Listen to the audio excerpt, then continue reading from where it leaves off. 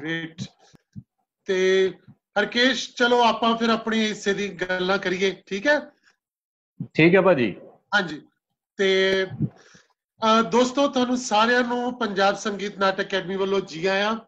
ਤੁਸੀਂ ਇੰਨੇ ਲੰਮੇ ਸਮੇਂ ਤੋਂ ਸਾਡੇ ਨਾਲ ਜੁੜੇ ਹੋ ਸਾਥ ਦੇ ਰਹੇ ਹੋ ਔਰ ਇਹਨਾਂ ਕਰੋਨਾ ਸਮਿਆਂ ਦੇ ਵਿੱਚ ਅਸੀਂ ਘਰ ਬੈਠੇ ਹੋਏ ਔਰ ਜਦੋਂ ਕਿ ਪ੍ਰੈਕਟੀਕਲੀ ਅਸੀਂ ਆਪਣੇ ਥੀਏਟਰ ਨੂੰ ਅਸੀਂ ਉਸ ਤਰ੍ਹਾਂ ਅੱਗੇ ਨਹੀਂ ਤੋਰ ਸਕਦੇ, ਪਰ ਇੰਨਾ ਜ਼ਰੂਰ ਹੈ ਕਿ ਅਸੀਂ ਆਪਣੇ ਕੀਤੇ ਹੋਏ ਕੰਮ ਬਾਰੇ ਜਾਂ ਕਰਨ ਵਾਲੇ ਕੰਮਾਂ ਬਾਰੇ ਆਪਾਂ ਗੱਲਾਂ ਕਰ ਸਕਦੇ ਹਾਂ, ਇੱਕ ਦੂਜੇ ਬਾਰੇ ਜਾਣ ਸਕਦੇ ਹਾਂ।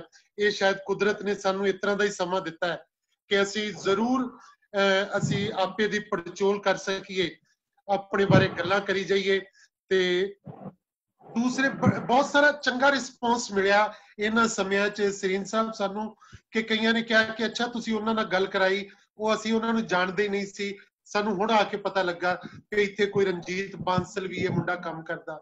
ਇੱਥੇ ਕੋਈ ਇਦਾਂ ਦਾ ਕੰਮ ਹੋ ਰਿਹਾ। ਸੋ ਮੇਰੇ ਖਿਆਲ ਹੈ ਇੱਕ ਜਰੀਆ ਹੈ ਇੱਕ ਸਮਾਂ ਜਿਹੜਾ ਇੱਕ ਦੂਜੇ ਦੇ ਕੰਮ ਨੂੰ ਸਮਝਣ ਲਈ, ਜਾਣਨ ਲਈ ਬਿਹਤਰੀਨ ਸਮਾਂ ਹੈ। ਸੋ ਹਰਕੇਸ਼, ਤੁਹਾਨੂੰ ਤੁਹਾਡੀ ਟੀਮ ਨੂੰ ਜੀ ਆਇਆਂ। ਅੱਜ ਅਸੀਂ, ਹਾਂਜੀ, ਦੀਪਕ ਰਾਏ ਜੀ ਵੈਲਕਮ ਸਰ ਗੁਰਲਾਲ ਜੀ ਵੈਲਕਮ ਤੁਹਾਨੂੰ ਵੀ। ਤੇ ਦੋਸਤੋ, ਅੱਜ ਸਾਡੇ ਨਾਲ ਲੋਕ ਕਲਾ ਮੰਚ ਮੁੱਲਾਪੁਰ ਤੋਂ ਹਰਕੇਸ਼ ਚੌਧਰੀ ਨੇ। ਇਹ ਨਾਟਕ ਲਿਖਦੇ ਨੇ, ਨਾਟਕ ਦੀ ਨਿਰਦੇਸ਼ਨਾ ਕਰਦੇ ਨੇ ਐਕਟਰ ਨੇ ਡਾਇਰੈਕਟਰ ਨੇ। ਔਰ ਲੰਮੇ ਸਮੇਂ ਤੋਂ ਖਾਸ ਤੌਰ ਤੇ ਜਿਹੜੀ ਸਾਡੀ ਪੰਜਾਬ ਲੋਕ ਸੱਭਿਆਚਾਰਕ ਮੰਚ ਦੀ ਇੱਕ ਮੂਵਮੈਂਟ ਹੈ ਔਰ ਉਸ ਮੂਵਮੈਂਟ ਦੇ ਨਾਲ ਜਿਹੜੇ ਕਿ ਰੰਗ ਮੰਚ ਨੂੰ ਲੈ ਕੇ ਅੱਗੇ ਤੁਰੇ ਹੋਏ। ਔਰ ਇਹ ਪੇਸ਼ੇ ਵਜੋਂ ਟੀਚਰ ਨੇ ਸਕੂਲ 'ਚ ਪੜਾਉਂਦੇ ਨੇ, ਸਰਕਾਰੀ ਸਕੂਲ ਦੇ ਵਿੱਚ। ਔਰ ਇਹਨਾਂ ਨੇ ਐਮਏ ਥੀਏਟਰ ਵੀ ਕੀਤੀ ਪੰਜਾਬੀ ਯੂਨੀਵਰਸਿਟੀ ਪਟਿਆਲਾ ਤੋਂ। ਔਰ ਔਰ ਉਹ ਜਿਹੜੀ ਐਮਏ ਥੀਏਟਰ ਸੀ, ਉਹ ਇਹਨਾਂ ਨੇ ਜਦੋਂ ਇਹ ਟੀਚਰ ਸੀਗੇ, ਉਦੋਂ ਵਿੱਚੋਂ ਛੁੱਟੀ ਲੈ ਕੇ ਇਹਨਾਂ ਨੇ ਬਾਅਦ ਵਿੱਚ ਕੀਤੀ। ਔਰ ਇਹਨਾਂ ਨੇ ਸਾਡੇ ਕੋਲ ਅੰਮ੍ਰਿਤਸਰ ਥੀਏਟਰ ਵਰਕਸ਼ਾਪ ਜਦੋਂ ਅਸੀਂ ਗੁਰੂ ਨਾਨਕ ਦੇਵ ਯੂਨੀਵਰਸਿਟੀ ਵਿੱਚ ਸਭ ਤੋਂ ਪਹਿਲੀ ਥੀਏਟਰ ਵਰਕਸ਼ਾਪ ਲਾਈ 2001 ਦੇ ਵਿੱਚ, ਤੇ ਉਸ ਵਰਕਸ਼ਾਪ ਦੇ ਵਿੱਚ ਹਰਕੇਸ਼ ਚੌਧਰੀ ਹੁਰੀ ਸਾਡੇ ਕੋਲ ਇੱਥੇ ਅੰਮ੍ਰਿਤਸਰ ਵੀ 1 ਮਹੀਨਾ ਰਹੇ, ਇਹਨਾਂ ਨੇ ਟ੍ਰੇਨਿੰਗ ਵੀ ਲਈ। ਸੋ ਇਹਨਾਂ ਨੇ ਮੁੱਲਾਪੁਰ ਦੇ ਵਿੱਚ ਰਹਿ ਕੇ ਆਪਣੇ ਪੈਸੇ ਦੇ ਨਾਲ ਜ਼ਮੀਨ ਖਰੀਦੀ, ਉਹਦੇ ਉੱਤੇ ਗੁਰਸ਼ਰਨ ਭਾਜੀ ਦੇ ਨਾਮ ਤੇ ਗੁਰਸ਼ਰਨ ਕਲਾ ਭਵਨ ਬਣਾਇਆ। ਔਰ ਸਿਰਫ ਉਹ ਬਣਾਇਆ ਹੀ ਨਹੀਂ, ਬਲਕਿ ਉਹਨੂੰ ਚਲਾਇਆ ਵੀ। ਔਰ ਉੱਥੇ ਹਰ ਮਹੀਨੇ ਸ਼ਾਮ ਨੂੰ ਸ਼ਨੀਵਾਰ ਸ਼ਾਮ ਨੂੰ ਜਿਹੜੇ ਕਿ ਨਾਟਕ ਉੱਥੇ ਹੁੰਦੇ ਨੇ। ਔਰ ਬਹੁਤ ਸਾਲ ਲਗਾਤਾਰ ਇਹ, ਲਗਾਤਾਰਤਾ ਤੋਂ ਇਹ ਜਿਹੜੇ ਨਾਟਕ ਹੈ, ਉੱਥੇ ਗੁਰਸ਼ਰਨ ਕਲਾ ਭਵਨ ਦੇ ਵਿੱਚ ਕੰਟੀਨਿਊਟੀ ਦੇ ਵਿੱਚ ਕਰਦੇ ਆ ਰਹੇ ਨੇ। ਦੂਜੀਆਂ ਟੀਮਾਂ ਨੂੰ ਉੱਥੇ ਬੁਲਾਉਂਦੇ ਨੇ, ਉਹਨਾਂ ਦੇ ਨਾਟਕ ਕਰਵਾਉਂਦੇ ਨੇ, ਬਹੁਤ ਸਾਰੇ ਥੀਏਟਰ ਫੈਸਟੀਵਲ ਵੀ ਕਰਵਾਉਂਦੇ ਨੇ। ਸੋ ਇਦਾਂ ਦੀ ਇਹਨਾਂ ਦੀ ਜਿਹੜੀ ਐਕਟੀਵਿਟੀ ਹੈ ਜਿਹੜੀ ਥੀਏਟਰ ਦੀ ਇੱਕ ਇਹ ਇਹਨਾਂ ਦੀ ਇੱਕ ਅਲੱਗ ਤਰ੍ਹਾਂ ਦੀ ਦੇਣ ਹੈ ਪੂਰੇ ਪੰਜਾਬੀ ਰੰਗਮੰਚ ਨੂੰ। ਸੋ ਮੈਨੂੰ ਸੀ ਕਿ ਜਿਹੜੇ ਲੋਕ ਕਿਸ ਤਰ੍ਹਾਂ ਦਾ ਕੰਮ ਕਰਦੇ ਪਏ ਨੇ, ਅਸੀਂ ਉਹਨਾਂ ਦੇ ਸਫ਼ਰ ਬਾਰੇ, ਉਹਨਾਂ ਦੇ ਸੰਘਰਸ਼ ਬਾਰੇ, ਉਹਨਾਂ ਦੇ ਕੰਮ ਬਾਰੇ ਕਿ ਉਹਨਾਂ ਦਾ ਕੰਮ ਕਿਸ ਤਰ੍ਹਾਂ ਦੂਜਿਆਂ ਨਾਲੋਂ ਅਲੱਗ ਹੈ, ਉਹਦੇ ਬਾਰੇ ਆਪਾਂ ਗੱਲਾਂ ਕਰੀਏ। ਸੋ ਹਰਕੇਸ਼, ਮੈਂ ਤੁਹਾਡੇ ਕੋਲੋਂ ਜਾਣਨਾ ਚਾਹੁੰਦਾ ਵਾਂ ਕਿ ਤੁਸੀਂ ਜਦੋਂ ਇਹ ਸਾਰੇ ਸਫ਼ਰ ਦੀ ਸ਼ੁਰੂਆਤ ਕੀਤੀ ਕਿਉਂਕਿ ਮੇਰਾ ਖਿਆਲ ਹੈ ਕਿ ਉਹ ਅਸੀਂ ਉਦੋਂ ਗੁਰਸ਼ਰਨ ਭਾਜੀ ਨਾਲ ਕੰਮ ਕਰਦੇ ਸੀਗੇ ਤੇ ਤੁਸੀਂ ਜਦੋਂ ਮੇਰੇ ਖਿਆਲ 85 ਤੋਂ ਬਾਅਦ ਸ਼ਾਇਦ ਭਾਜੀ ਨੂੰ ਤੁਸੀਂ ਜੁਆਇਨ ਕੀਤਾ ਔਰ ਉਹਨਾਂ ਨਾਲ ਕੰਮ ਕਰਨਾ ਸ਼ੁਰੂ ਕੀਤਾ ਤੇ ਫਿਰ ਤੁਸੀਂ ਅੱਗੇ ਸਫ਼ਰ ਸ਼ੁਰੂ ਕੀਤਾ। ਸੋ ਪਹਿਲੇ ਸ਼ੁਰੂ ਵਿੱਚ ਥੋੜਾ ਜਿਹਾ ਆਪਣੇ ਬਿਗਨਿੰਗ ਦੇ ਸਫ਼ਰ ਬਾਰੇ ਸਾਰੇ ਦੋਸਤਾਂ ਦੇ ਨਾਲ ਸਾਂਝ ਪਾਓ ਤੇ ਫਿਰ ਆਪਾਂ ਹੋਰ ਗੱਲਾਂ ਕਰਦੇ ਹਾਂ। ਹਰਕੇਸ਼, ਤੁਸੀਂ? ਠੀਕ ਹੈ ਭਾਜੀ। ਜਿੰਨੇ ਵੀ ਦੋਸਤ ਇਸ ਜ਼ੂਮ ਐਪ ਨਾਲ ਜੁੜੇ ਹੋਏ ਆ, ਅੱਜ ਦੀ ਇਸ ਵਾਰਤਾਲਾਪ ਵਿੱਚ ਸ਼ਾਮਲ ਹੈ ਉਹਨਾਂ ਨੂੰ ਮੇਰੀ ਪਿਆਰ ਭਰੀ ਸਤਿ ਸ੍ਰੀ ਅਕਾਲ। ਤੇ ਪਿਆਰੇ ਦੋਸਤੋ, ਲੋਕ ਕਲਾ ਮੰਚ ਮੰਡੀ ਮੁੱਲਾਂਪੁਰ 1988 ਵਿੱਚ ਅਸੀਂ ਬਣਾਇਆ ਸੀਗਾ। ਤੇ 1988 ਤੋਂ ਹੀ ਸਾਡਾ ਲਗਾਤਾਰ ਸਫ਼ਰ ਜਾਰੀ ਹੈ। 1988 ਵਿੱਚ ਅਸੀਂ ਲਗਭਗ 10ਵੀਂ 11ਵੀਂ ਦੇ ਵਿਦਿਆਰਥੀ ਸੀਗੇ। ਤੇ ਚਾਰ ਦੋਸਤਾਂ ਨੇ ਮਿਲ ਕੇ ਅਸੀਂ ਲੋਕ ਕਲਾ ਮੰਚ ਬਣਾਇਆ ਤੇ ਗੁਰਸ਼ਰਨ ਭਾਜੀ ਨੂੰ ਅਸੀਂ 8-9 ਜੁਲਾਈ 1999 ਵਿੱਚ ਇੱਕ ਪਾਸ਼ ਡਾਕਟਰ ਰਵਿੰਦਰ ਰਵੀ ਜੈਮਲ ਸਿੰਘ ਪੱਡਾ ਦੇ ਨਾਮ ਤੇ ਭਾਜੀ ਹੋਰਾਂ ਨੇ ਇੱਕ ਫੈਸਟੀਵਲ ਇੱਕ ਨਾਟਕਾਂ ਭਰੀ ਰਾਤ ਦਾ ਆਯੋਜਨ ਕੀਤਾ ਸੀ। ਭਾਜੀ ਮੈਨੂੰ ਯਾਦ ਆ ਉਹਦੇ ਵਿੱਚ ਤੁਸੀਂ ਉਦੋਂ ਮੈਨੂੰ ਲੱਗਦਾ ਐਨਐਸਪੀ ਵਿੱਚ ਐਡਮਿਸ਼ਨ ਲੈ ਲਈ ਸੀ ਤੇ ਤੁਸੀਂ ਉਹਦੇ ਵਿੱਚ ਸ਼ਾਮਲ ਹੋਏ ਸੀਗੇ। ਹਾਂ। ਤੇ ਤੁਸੀਂ ਇੱਕ ਜਿਹੜਾ ਪ੍ਰੋਫੈਸਰ ਨਾਟਕ ਸੀ ਉਹਦੇ ਵਿੱਚ ਫੌਰੀ ਤੌਰ ਤੇ ਮੌਕੇ ਦੇ ਮੌਕੇ ਹੀ ਇੱਕ ਰੋਲ ਕੀਤਾ ਸੀਗਾ। ਤੇ ਅਸੀਂ ਉਦੋਂ ਸਿਖਾਂਦਰੂ ਸੀਗੇ ਨਵੇਂ ਸਿਖਾਂਦਰੂ। ਤੇ ਸਾਨੂੰ ਮਤਲਬ ਕੇਵਲ ਢਾਲੀਵਾਲ ਸੁਖਦੇਵਪ੍ਰੀਤ ਜੀ ਹਰਦੀਪ ਗੱਲ ਹੋਰੀ ਇਹ ਬਹੁਤ ਵੱਡੇ ਅਦਾਕਾਰ ਲੱਗਦੇ ਹੁੰਦੇ ਸੀਗੇ ਵੀ ਅਸੀਂ ਇਹਨਾਂ ਵਾਂਗੂ ਕਰੀਏ ਐਦਾਂ ਅਸੀਂ ਕਰਨ ਦੀ ਕੋਸ਼ਿਸ਼ ਵੀ ਕਰਦੇ ਸੀਗੇ। ਖਾਸ ਕਰਕੇ ਧਮਕਨ ਗਾਰੇ ਦੀ ਨਾਟਕ ਸਾਨੂੰ ਬਹੁਤ ਪ੍ਰਭਾਵਿਤ ਕਰਦਾ ਸੀਗਾ। ਸੋ 1999 ਤੋਂ ਲੈ ਕੇ 1988 ਤੋਂ ਲੈ ਕੇ ਹੁਣ ਤੱਕ ਦਾ ਇਹ ਲਗਾਤਾਰ ਸਫ਼ਰ ਜਾਰੀ ਹੈ। ਤੇ 16 ਅਕਤੂਬਰ 2007 ਨੂੰ ਅਸੀਂ ਗੁਰਸ਼ਰਨ ਕਲਾ ਭਵਨ ਬਣਾਇਆ ਸੀਗਾ। ਜਿਹਦੇ ਬਾਰੇ ਬਹੁਤ ਸਾਰੀ ਜਾਣਕਾਰੀ ਤੁਸੀਂ ਹੁਣੇ ਦਿੱਤੀ ਹੈ। 16 ਅਕਤੂਬਰ 2007 ਨੂੰ ਜਦੋਂ ਅਸੀਂ ਗੁਰਸ਼ਰਨ ਕਲਾ ਭਵਨ ਬਣਾਇਆ ਤੇ ਗੁਰਸ਼ਰਨ ਭਾਜੀ ਨੇ ਹੀ ਇਹਦਾ ਉਦਘਾਟਨ ਕੀਤਾ। ਤੇ ਮੈਨੂੰ ਯਾਦ ਹੈ ਕਿ ਉਹਨਾਂ ਨੇ ਇਸ ਉਦਘਾਟਨ ਸਮਾਰੋਹ ਤੇ ਇੱਕ ਸ਼ਬਦ ਬੋਲਿਆ ਸੀਗਾ ਕਿ ਇੱਥੇ ਬਹੁਤ ਵੱਡੇ ਵੱਡੇ ਨਾਟਕ ਹੋਇਆ ਕਰਨਗੇ। ਤੇ ਗੁਰਸ਼ਰਨ ਭਾਜੀ ਦੇ ਕਹੇ ਹੋਏ ਬੋਲ ਅੱਜ ਸੱਚ ਸਾਬਤ ਹੋ ਰਹੇ ਆ। ਜਦੋਂ ਅਸੀਂ ਪੰਜਾਬ ਸੰਗੀਤ ਨਾਟਕ ਅਕੈਡਮੀ ਦੇ ਸਹਿਯੋਗ ਨਾਲ ਬਾਬਾ ਨਾਨਕ ਨਾਟ ਉਤਸਵ ਕਰਾਉਨੇ ਆ ਜਦੋਂ ਅਸੀਂ ਜੂਨ ਮਹੀਨੇ ਵਿੱਚ ਬੱਚੇ ਦਾ ਫੈਸਟੀਵਲ ਕਰਾਉਨੇ ਆ ਤੇ ਬਹੁਤ ਸਾਰੇ ਲੋਕ ਹਰ ਮਹੀਨੇ ਦੇ ਅਖੀਰਲੇ ਸ਼ਨੀਵਾਰ ਆਪਣੇ ਪਰਿਵਾਰਾਂ ਸਮੇਤ ਪੁੱਜਦੇ ਆ ਤੇ ਤਾਂ ਮੈਨੂੰ ਲੱਗਦਾ ਹੁੰਦਾ ਕਿ ਭਾਜੀ ਦੇ ਉਹ ਬੋਲ ਸੱਚ ਸਾਬਤ ਹੋ ਰਹੇ ਆ। ਸੋ ਲੋਕ ਕਲਾ ਮੰਚ ਮੰਡੀ ਮੁੱਲਾਪੁਰ ਇਸ ਤਰ੍ਹਾਂ ਆਪਣਾ ਸਫ਼ਰ ਜਾਰੀ ਰੱਖ ਰਹੀ ਹੈ। ਤੇ ਜਦੋਂ ਤੁਸੀਂ ਇਹ ਹਰਕੇਸ਼, ਜਦੋਂ ਸ਼ੁਰੂ 'ਚ ਸੁਪਨਾ ਲਿਆ ਸੀਗਾ ਵੀ ਤੁਸੀਂ ਗੁਰਸ਼ਰਨ ਕਲਾ ਭਵਨ ਬਣਾਓ, ਵੀ ਇਹ ਕਿਹੜੀਆਂ ਲੋੜਾਂ ਸੀ ਜਿਹਦੀ ਤੁਹਾਨੂੰ ਇਹ ਲੋੜ ਮਹਿਸੂਸ ਹੋਈ ਵੀ ਅਸੀਂ ਇਹ ਬਣਾ ਲਈਏ? ਤੇ ਉਹ ਕਿਹੜੇ ਦੋਸਤ ਸੀ, ਤੁਹਾਡੀ ਟੀਮ ਸੀਗੀ ਵੀ ਜਿਹੜੀ ਅੱਗੇ ਲੱਗ ਕੇ ਤੁਰੀ ਸੀਗੀ ਵੀ ਤੁਸੀਂ ਇਹ ਬਣਾ ਸਕੇ ਤੇ ਇਹਦੇ ਵਿੱਚ ਇੰਨਾ ਕਾਮਯਾਬ ਹੋ ਸਕੇ? ਭਾਜੀ, ਜਦੋਂ ਅਸੀਂ ਕੋਈ ਤਿਆਰ ਕਰਦੇ ਸੀਗੇ ਤੇ ਸਾਨੂੰ ਸਭ ਤੋਂ ਵੱਡੀ ਪਹਿਲੀ ਸਮੱਸਿਆ ਇਹ ਨਜ਼ਰ ਆਉਂਦੀ ਹੁੰਦੀ ਸੀਗੀ ਕਿ ਇਹਦਾ ਸ਼ੋਅ ਕਿੱਥੇ ਕਰੀਏ? ਕਿੱਥੋਂ ਸਾਨੂੰ ਪਤਾ ਲੱਗੇ ਵੀ ਸਾਡੇ ਨਾਟਕ ਕਿੰਨਾ ਸਫਲ ਹੈ ਕਿੰਨੀਆਂ ਕੁ ਉਹਦੇ ਵਿੱਚ ਗਲਤੀਆਂ ਵਾ। ਪਹਿਲਾ ਸ਼ੋਅ ਕਰਨ ਵਿੱਚ ਸਾਨੂੰ ਬੜੀ ਦਿੱਕਤ ਆਉਂਦੀ ਸੀ। ਅਸੀਂ ਮੁੱਲਾਪੁਰ ਵਿੱਚ ਇੱਕ ਇੱਥੇ ਜੰਜ ਘਰ ਬਣਿਆ ਹੋਇਆ ਸੀ। ਉਹਦੇ ਪ੍ਰਬੰਧਕਾਂ ਤੋਂ ਬੇਨਤੀ ਕਰਕੇ ਉਹਨਾਂ ਤੋਂ ਜਾਂਚ ਕਰ ਲੈਂਦੇ ਸੀ ਤੇ ਉੱਥੇ ਕਰਦੇ ਸੀ। ਤੇ ਜਿੱਥੇ ਸਾਡਾ ਆਫਿਸ ਸੀਗਾ, ਉਹ ਲਗਭਗ ਜੰਜ ਘਰ ਤੋਂ 1.5 2 ਕਿਲੋਮੀਟਰ ਦੂਰ ਸੀ। ਤੇ ਪੈਸੇ ਦੀ ਇੰਨੀ ਕਿੱਲਤ ਹੁੰਦੀ ਸੀ ਵੀ ਅਸੀਂ ਕੋਈ ਰਿਕਸ਼ਾ ਵਗੈਰਾ ਨਹੀਂ ਸੀ ਕਰ ਸਕਦੇ। ਅਸੀਂ ਆਪ ਹੀ ਸਮਾਨ ਚੱਕ ਕੇ ਢੋ ਕੇ ਉੱਥੇ ਲੈ ਕੇ ਜਾਣਾ ਤੇ ਅੱਧੀ ਰਾਤ ਤੱਕ ਰਹਿਸਲ ਕਰਨੀ ਫੇਰ ਵਾਪਸ ਆਪਣੇ ਦਫ਼ਤਰ ਵਿੱਚ ਰੱਖ ਕੇ ਆਉਣਾ ਕਿਉਂਕਿ ਉਸ ਜੰਜ ਘਰ ਵਿੱਚ ਸਵੇਰ ਨੂੰ ਸਕੂਲ ਚੱਲਦਾ ਹੁੰਦਾ ਸੀ। ਰਾਤੋਂ ਰਾਤ ਉਹ ਖਾਲੀ ਕਰਨਾ ਪੈਂਦਾ ਹੁੰਦਾ ਸੀਗਾ। ਤੇ ਸਾਨੂੰ ਇਦਾਂ ਲੱਗਦਾ ਸੀਗਾ ਵੀ ਆਪਣਾ ਨਾਟਕ ਦਿਖਾਉਣ ਲਈ ਤੇ ਇਸ ਢੋਟ ਢਵਾਈ ਤੋਂ ਬਚਣ ਦੇ ਲਈ ਇੱਕ ਆਪਣੀ ਥਾਂ ਹੋਣੀ ਚਾਹੀਦੀ ਹੈ। ਸੋ ਉਦੋਂ ਇਹ ਸੁਪਨਾ ਲਿਆ ਵੀ ਆਪਾਂ ਇੱਕ ਆਪਣਾ ਕਲਾ ਭਵਨ ਬਣਾਈਏ ਤੇ ਦੇ ਵਿੱਚ ਲਗਾਤਾਰ ਗਤੀਵਿਧੀਆਂ ਹੋ ਸਕਣ। ਤੇ ਉਸ ਵੇਲੇ ਜਦੋਂ ਅਸੀਂ ਲੋਕ ਕਲਾ ਸ਼ੁਰੂ ਕੀਤਾ ਸੀ, ਉਹਦੇ ਵਿੱਚ ਸ਼ੁਰੂਆਤੀ ਦੌਰ ਦੇ ਜਿਹੜੇ ਦੋਸਤ ਸੀਗੇ ਰਜੀਵ ਸ਼ਰਮਾ, ਜਿਹੜੇ ਅੱਜਕੱਲ ਇੱਕ ਪੈਰਲਲ ਸਿਨੇਮਾ ਦੇ ਤੌਰ ਤੇ, ਨਿਰਦੇਸ਼ਕ ਦੇ ਤੌਰ ਤੇ ਐਸਟੈਬਲਿਸ਼ ਨੇ, ਉਹਨਾਂ ਨੇ ਇੱਕ ਬਹੁਤ ਖੂਬਸੂਰਤ ਨੈਸ਼ਨਲ ਅਵਾਰਡ ਜਿੱਤੂ ਫਿਲਮ ਬਣਾਈ ਸੀਗੀ। ਤੇ ਨਾਬਰ ਤੇ ਦੂਸਰੇ ਇੱਕ ਸਾਥੀ ਇਥੋਂ ਦੇ ਬਿਜ਼ਨਸਮੈਨ ਤੇਜਿੰਦਰ ਧੀਰ ਤੇ ਜਿਹੜੇ ਮੇਰੇ ਨਾਲ ਇਹ ਦੋ ਸਾਥੀ ਇੱਕ ਸਾਲ ਬਾਅਦ ਹੀ ਕੰਮ ਕਰਨੋਂ ਹਟ ਗਏ ਸੀ ਲੋਕਲ ਮੰਚ ਵਿੱਚੋਂ ਕਿਉਂਕਿ ਰਜੀਵ ਦੀ ਐਡਮਿਸ਼ਨ ਹੋ ਗਈ ਸੀ ਚੰਡੀਗੜ੍ਹ ਵਿੱਚ ਐਜ਼ ਏ ਐਮਏ ਥੀਏਟਰ ਕਰਨ ਦੇ ਲਈ ਤੇ ਜਿਹੜੇ ਦੂਜੇ ਤੇਜਿੰਦਰ ਧੀਰ ਸੀਗੇ ਉਹ ਆਪਣੇ ਬਿਜ਼ਨਸ ਵਿੱਚ ਇਨਵੋਲਵ ਹੋ ਗਏ ਸੀਗੇ। ਯਾਨੀ 99 ਵਿੱਚ ਉਹ ਆਪਣਾ ਸਫ਼ਰ ਪੂਰਾ ਕਰ ਗਏ ਸੀ ਲੋਕਲ ਮੰਚ ਵਿੱਚ 1 ਸਾਲ ਬਾਅਦ ਹੀ। ਤੇ ਜਿਹੜਾ 31 ਸਾਲਾਂ ਤੱਕ ਮੇਰੇ ਨਾਲ ਮੇਰਾ ਸੰਗੀ ਸਾਥੀ ਬਣ ਕੇ ਮੇਰੇ ਨਾਲ ਰਿਹਾ ਉਹ ਸਾਥੀ ਸੁਰਿੰਦਰ ਸ਼ਰਮਾ ਉਹ ਉਹ ਵੀ ਮੇਰੇ ਖਿਆਲ ਜੁੜ ਗਏ ਆਪਣੇ ਨਾਲ ਗੱਲਬਾਤ ਕਰਨਗੇ। ਤੇ ਲਗਾਤਾਰ ਸੁਰਿੰਦਰ ਵੀ ਲੋਕਲ ਮੰਚ ਵਿੱਚ ਉਸੇ ਤਰ੍ਹਾਂ ਇਨਵੋਲਵ ਰਿਹਾ। ਤੇ ਡਾਇਰੈਕਸ਼ਨ ਦਾ ਕੰਮ ਲੋਕਲ ਮੰਚ ਵਿੱਚ ਮੈਂ ਕਰਦਾ ਰਿਹਾ ਤੇ ਉਹ ਮੇਨ ਐਕਟਰ ਦੇ ਤੌਰ ਤੇ ਲੋਕਲ ਮੰਚ ਵਿੱਚ, ਬਾਕੀ ਪ੍ਰਬੰਧਕੀ ਜ਼ਿੰਮੇਵਾਰੀਆਂ ਵਿੱਚ ਹਮੇਸ਼ਾ ਮੇਰੇ ਅੰਗ ਸੰਗ ਮੇਰੇ ਸਾਥ ਰਿਹਾ ਸੋ ਗੁਰਸ਼ਰਨ ਕਲਾ ਭਵਨ ਬਣਾਉਣ ਵਿੱਚ ਸੁਰਿੰਦਰ ਦਾ ਵੀ ਉਨਾ ਹੀ ਵੱਡਾ ਹੱਥ ਹੈ, ਜਿੱਥੇ ਲੋਕਲ ਮੰਚ ਦੀ ਹੋਰ ਟੀਮ ਦਾ ਇਹਦੇ ਵਿੱਚ ਦੀਪਕ ਰਾਏ, ਮਾਸਟਰ ਜੀ ਲੱਗੇ ਹੋਏ ਨੇ, ਉਹਨਾਂ ਦਾ ਬਹੁਤ ਵੱਡਾ ਯੋਗਦਾਨ ਹੈ। ਹਰਮਨਦੀਪ ਸਿੰਘ, ਉਹਨਾਂ ਦਾ ਬਹੁਤ ਵੱਡਾ ਯੋਗਦਾਨ ਹੈ।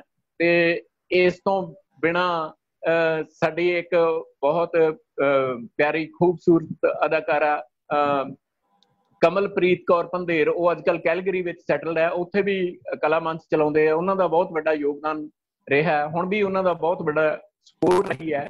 ਇਸੇ ਤਰ੍ਹਾਂ ਟ੍ਰਾਂਟੋ ਵਿੱਚ ਸਾਡੇ ਲੋਕਲਾ ਮੰਚ ਤੋਂ ਸਤਿੰਦਰ ਚਾਹਲ ਜੀ, ਉਹਨਾਂ ਦਾ ਵੀ ਬਹੁਤ ਵੱਡਾ ਯੋਗਦਾਨ ਹੈ। ਵੈਨਕੂਵਰ ਵਿੱਚ ਤਿਰਭਵਨ ਸਿੰਘ, ਜਿਹੜੇ ਲੋਕਲ ਮੰਚ 'ਚ ਕੰਮ ਕਰਦੇ ਕਰਦੇ ਬੜੇ ਆਪਣੀਆਂ ਜ਼ਿੰਦਗੀ ਦੀਆਂ ਲੋੜਾਂ ਕਰਕੇ ਵਿਦੇਸ਼ਾਂ ਵਿੱਚ ਸੈਟਲ ਹੋ ਗਏ, ਅੱਜ ਤੱਕ ਲੋਕ ਕਲਾ ਮੰਚ ਨਾਲ ਜੁੜੇ ਹੋਏ ਆ।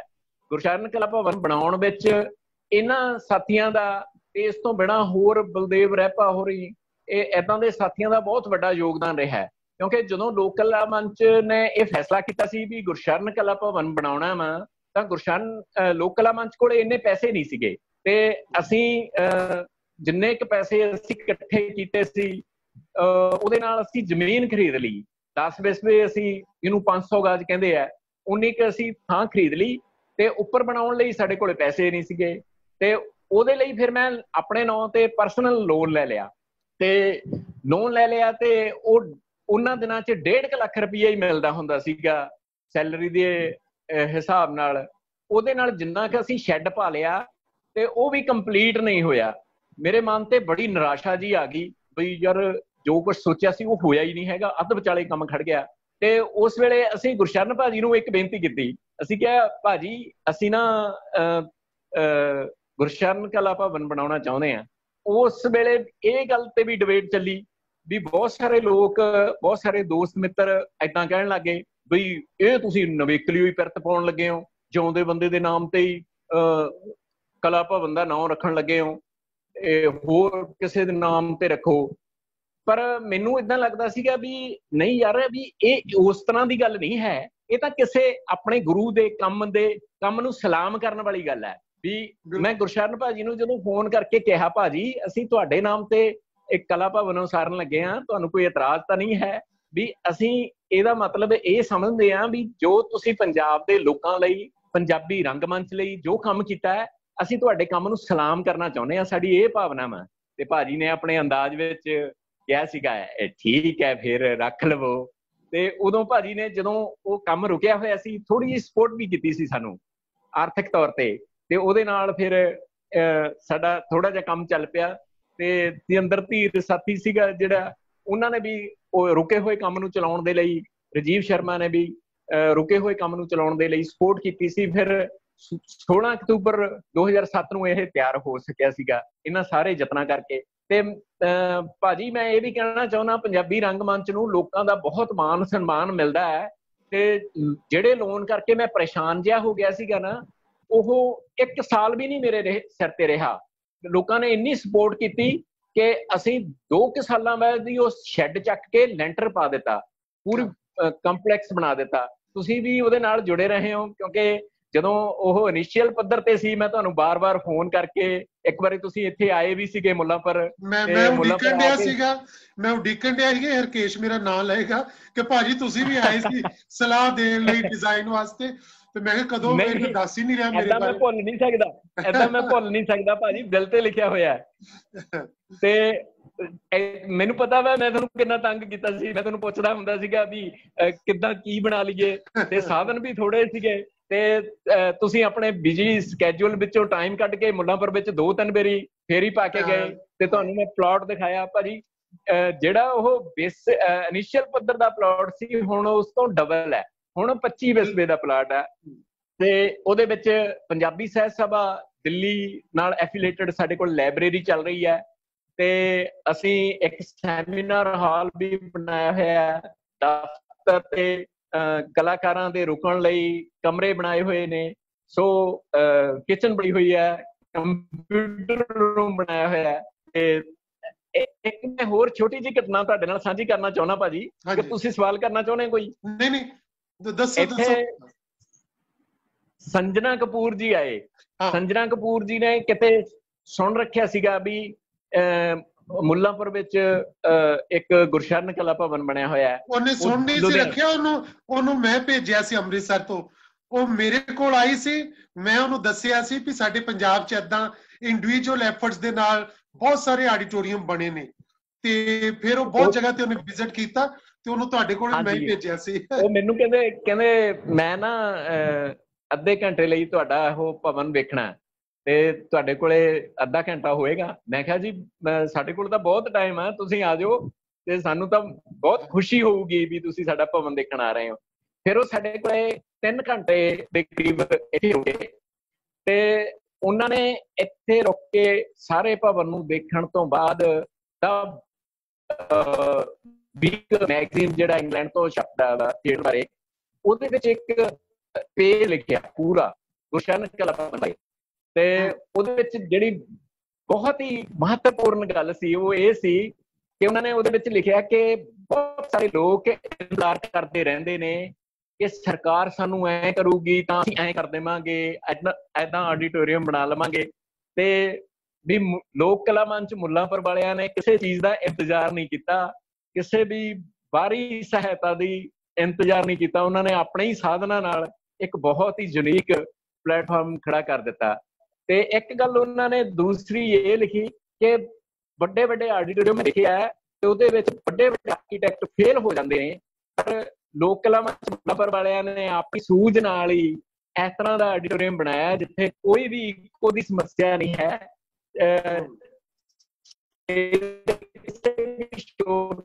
ਖੜੇ ਹੋ ਕੇ ਆਪਾਂ ਬੋਲੀਏ ਦਰਸ਼ਕਾਂ ਤੱਕ ਗੱਲ ਪਹੁੰਚਦੀ ਹੈ। ਸੋ ਇਹ ਇਹ ਬੜੇ ਮਾਣ ਵਾਲੀ ਗੱਲ ਸਾਨੂੰ ਮਹਿਸੂਸ ਹੁੰਦੀ ਸੀਗੀ।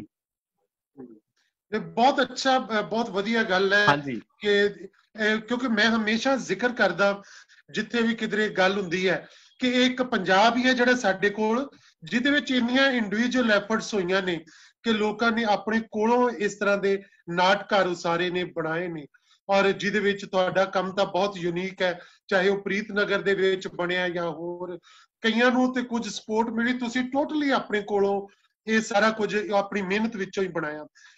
ਹਰਕੇਸ਼, ਮੈਂ ਚਾਹੁੰਦਾ ਕਿ ਸੁਰਿੰਦਰ ਸਾਡੇ ਨਾਲ ਤੁਸੀਂ ਜੁੜ ਚੁੱਕੇ ਹੋ। ਸੁਰਿੰਦਰ, ਤੁਸੀਂ ਵੀ ਕੁਝ ਹੋਰ ਇਹਦੇ ਵਿੱਚ ਐਡ ਕਰਨਾ ਚਾਹੋਗੇ? ਕਿਉਂਕਿ ਤੁਸੀਂ ਵੀ ਨਾਲ ਨਾਲ ਹੀ ਇਹ ਸਾਰੇ ਸਫ਼ਰ ਦੇ ਵਿੱਚ ਸ਼ਾਮਲ ਹੋ। ਤਾਂ ਮੈਂ ਚਾਹੁੰਦਾ ਤੁਸੀਂ ਵੀ ਕੋਈ ਗੱਲ ਇਹਦੇ ਬਾਰੇ, ਲੋਕ ਕਲਾ ਮੰਚ ਬਾਰੇ, ਮੁੱਲਾਪੁਰ ਬਾਰੇ ਤੁਸੀਂ ਕੋਈ ਗੱਲ ਕਰੋ। ਹਾਂਜੀ ਭਾਜੀ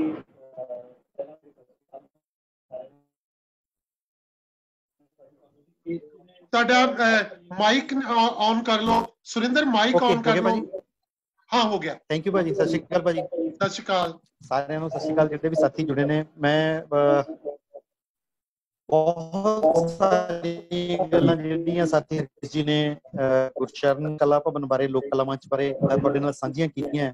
ਇੱਕ ਲੰਬਾ ਸਫ਼ਰ ਹੈ 31 ਸਾਲ ਦਾ। ਔਰ ਇਹਦੇ ਵਿੱਚ ਇੱਕ ਗੱਲ ਜਿਹੜੀ ਮੈਂ ਐਡ ਕਰਨਾ ਚਾਹੁੰਦਾ ਇਹਨਾਂ ਸਾਰੀਆਂ ਗੱਲਾਂ ਦੇ ਵਿੱਚ ਕਿ ਅਸੀਂ ਕਿਉਂ ਕਰ ਪਾਏ ਆ ਮੈਨੂੰ ਐ ਲੱਗਦਾ ਹੈ ਕਿ ਸ਼ਾਇਦ ਸਾਡੀ ਇੱਕ ਸਮਝ ਡਿਵੈਲਪ ਸੀ, ਜਦੋਂ ਅਸੀਂ ਥੀਏਟਰ ਵੀ ਸ਼ੁਰੂ ਕੀਤਾ ਸੀ, ਤਾਂ ਸਾਡੀ ਇੱਕ ਸੋਚ ਡਿਵੈਲਪ ਹੋ ਚੁੱਕੀ ਸੀ ਜਾਂ ਸੋਚ ਇਸ ਕਿਸਮ ਦੀ ਬਣ ਚੁੱਕੀ ਸੀ ਕਿ ਥੀਏਟਰ ਕਰਨਾ ਕਿਉਂ ਆ?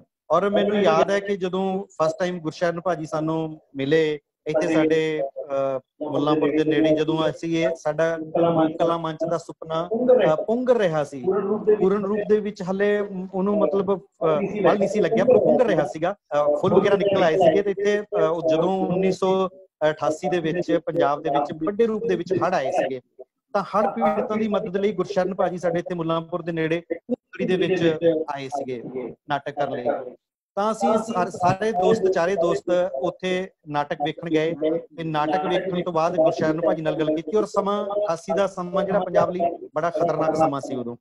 ਤੇ ਗੁਰਸ਼ਰਨ ਭਾਜੀ ਨੇ ਇੱਕ ਜਦੋਂ ਅਸੀਂ ਕਿਹਾ ਕਿ ਅਸੀਂ ਵੀ ਨਾਟਕ ਕਰਨਾ ਚਾਹੁੰਦੇ ਆ ਅਸੀਂ ਵੀ ਮਤਲਬ ਥੀਏਟਰ ਨਾਲ ਜੁੜਨਾ ਚਾਹੁੰਦੇ ਤਾਂ ਉਹਨਾਂ ਨੇ ਇੱਕ ਬੜਾ ਬੜੀ ਖੂਬਸੂਰਤ ਗੱਲ ਕੀਤੀ। ਉਹ ਸੀ ਕਿ ਤੁਸੀਂ ਪਹਿਲਾਂ ਇਹ ਮੁਖਾਤਿਬ ਹੋਵੋ ਆਪਣੇ ਆਪ ਨਾਲ ਕਿ ਤੁਸੀਂ ਥੀਏਟਰ ਕਰਨਾ ਕਿਉਂ ਚਾਹੁੰਦੇ ਹੋ? ਤੁਸੀਂ ਨਾਟਕ ਕਿਉਂ ਕਰਨਾ ਚਾਹੁੰਦੇ ਹੋ?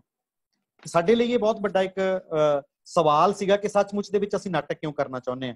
ਔਰ ਸਾਡਾ ਇਹ ਵਿਜ਼ਨ ਕਲੀਅਰ ਸੀਗਾ ਕਿ ਅਸੀਂ ਨਾਟਕ ਕਿਉਂ ਕਰਨਾ ਚਾਹੁੰਦੇ ਹਾਂ? ਜਿਹਦੇ ਲਈ ਸਾਨੂੰ ਲੋਕ ਕਲਾ ਮੰਚ ਨੂੰ ਇੱਥੇ ਤੱਕ ਲਿਆਉਣ ਲਈ ਸਾਨੂੰ ਲੱਗਦਾ ਹੈ ਕਿ ਜੇ ਸਾਡਾ ਵਿਜ਼ਨ ਕਲੀਅਰ ਸੀਗਾ ਕਿ ਅਸੀਂ ਥੀਏਟਰ ਕਿਉਂ ਕਰਨਾ ਚਾਹੁੰਦੇ ਹਾਂ? ਜੇ ਥੀਏਟਰ ਫਾਰ ਥੀਏਟਰ ਕਰਨਾ ਹੈ, ਸਾਡਾ ਇਹ ਮਕਸਦ ਨਹੀਂ ਹੈ। ਮੈਂ ਤਾਂ ਅੱਜ ਵੀ ਵਿਵਾਕੀ ਨਾਲ ਕਹਿਣਾ ਚਾਹੁੰਦਾ ਕਿ ਅਸੀਂ ਥੀਏਟਰ ਫਾਰ ਥੀਏਟਰ ਨਹੀਂ ਕਰਨਾ ਚਾਹੁੰਦੇ।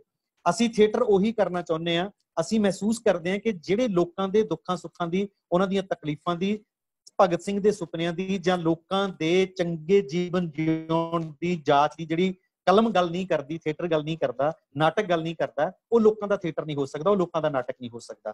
ਗੁਰਸ਼ਰਨ ਭਾਜੀ ਦੀ ਮਤਲਬ ਉਸ ਪੈੜ ਦੇ ਵਿੱਚ ਪੈਰ ਰੱਖਦੇ ਹੋਏ ਅਸੀਂ ਲੋਕ ਕਲਾ ਮੰਚ ਨੂੰ ਗੁਰਸ਼ਰਨ ਕਲਾ ਭਵਨ ਦੇ ਰਾਹੀਂ ਇੱਥੇ ਤੱਕ ਲੈ ਕੇ ਆਏ ਹਾਂ।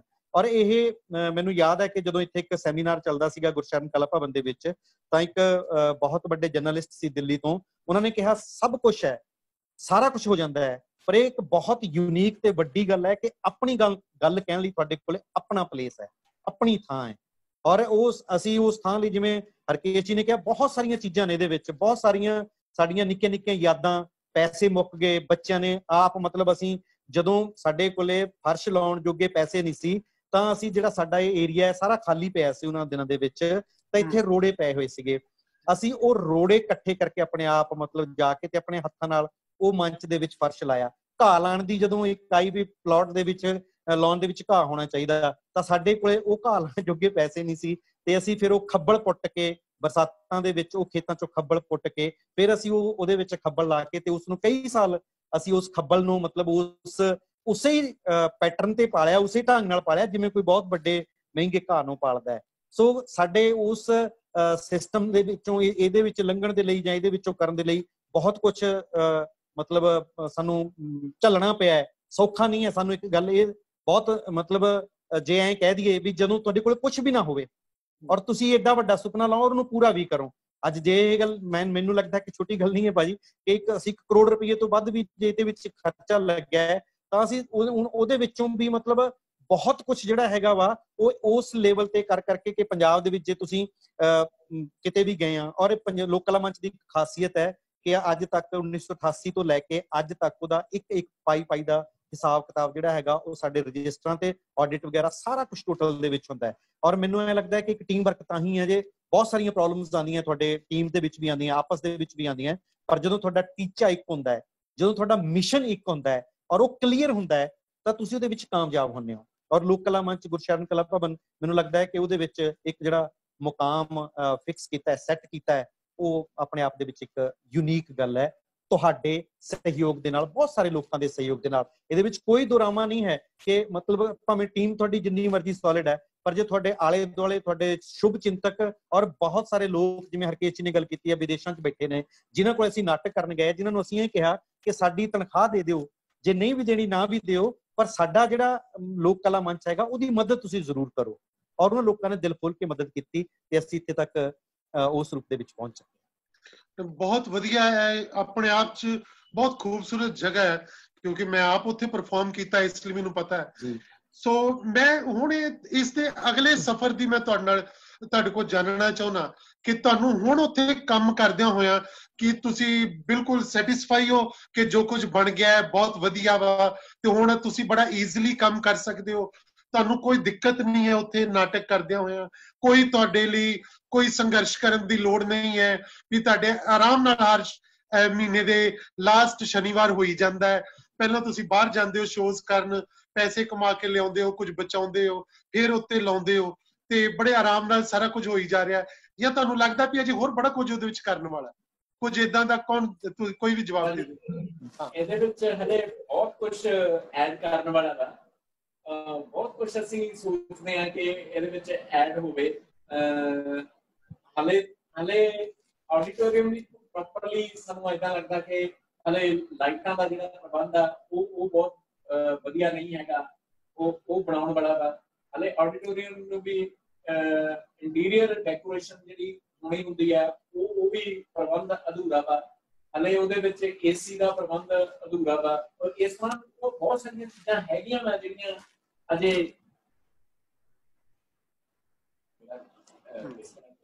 ਹਾਂਜੀ ਭਾਜੀ ਮੈਨੂੰ ਲੱਗਦਾ ਹਰਕੇਸ਼ ਦਾ ਡਿਸਕਨੈਕਟ ਹੋ ਗਿਆ ਸ਼ਾਇਦ। ਹਰਕੇਸ਼ ਤੁਹਾਡੀ ਆਵਾਜ਼ ਬੰਦ ਹੋ ਗਈ ਹੈ ਸਾਇਲੈਂਟ ਹੋ ਗਿਆ ਤੁਹਾਡਾ ਜ਼ਰਾ ਦੇਖਿਓ। ਹਾਂਜੀ ਮੈਂ ਇਸ ਗੱਲ ਨੂੰ ਨੇ ਚਰ ਨੂੰ ਕੰਟੀਨਿਊ ਕਰ ਲੈਣਾ ਹਰਕੇਸ਼ ਜੀ ਜਿੰਨੇ ਚਿਰ ਤੱਕ ਆਉਂਦੇ ਨੇ ਕਿ ਉਹਦਾ ਇੱਕ ਇੰਟੀਰੀਅਰ ਦੇ ਵਿੱਚ ਜਿਵੇਂ ਹਰਕੇਸ਼ ਜੀ ਨੇ ਗੱਲ ਕੀਤੀ ਉਹ ਸਾਡਾ ਅਨਕੰਪਲੀਟ ਹੈ ਹਲੇ। ਔਰ ਸਾਡਾ ਮੈਂ ਇੱਕ ਗੱਲ ਜਿਹੜੀ ਇਹ ਗੱਲ ਕਹਿਣਾ ਕਿ ਸੰਘਰਸ਼, ਜਦੋਂ ਬੰਦਾ ਸੰਘਰਸ਼ ਤੋਂ ਪਾਸੇ ਹਟ ਜੇ ਤੇ ਫਿਰ ਉਹ ਤਰੱਕੀ ਨਹੀਂ ਕਰ ਸਕਦਾ। ਸੰਘਰਸ਼ ਤਾਂ ਕਰਨਾ ਚਾਹੀਦਾ ਹੈ। ਸੰਘਰਸ਼ੀਲ ਹਮੇਸ਼ਾ ਰਹਿਣਾ ਚਾਹੀਦਾ ਸੰਘਰਸ਼ੀਲ ਹੀ ਬੰਦੇ ਨੂੰ ਉਹਦੀ ਮੰਜ਼ਿਲ ਤੱਕ ਲੈ ਕੇ ਜਾਂਦਾ ਹੈ ਔਰ ਜਿਉਂਦਾ ਰੱਖਦਾ ਹੈ।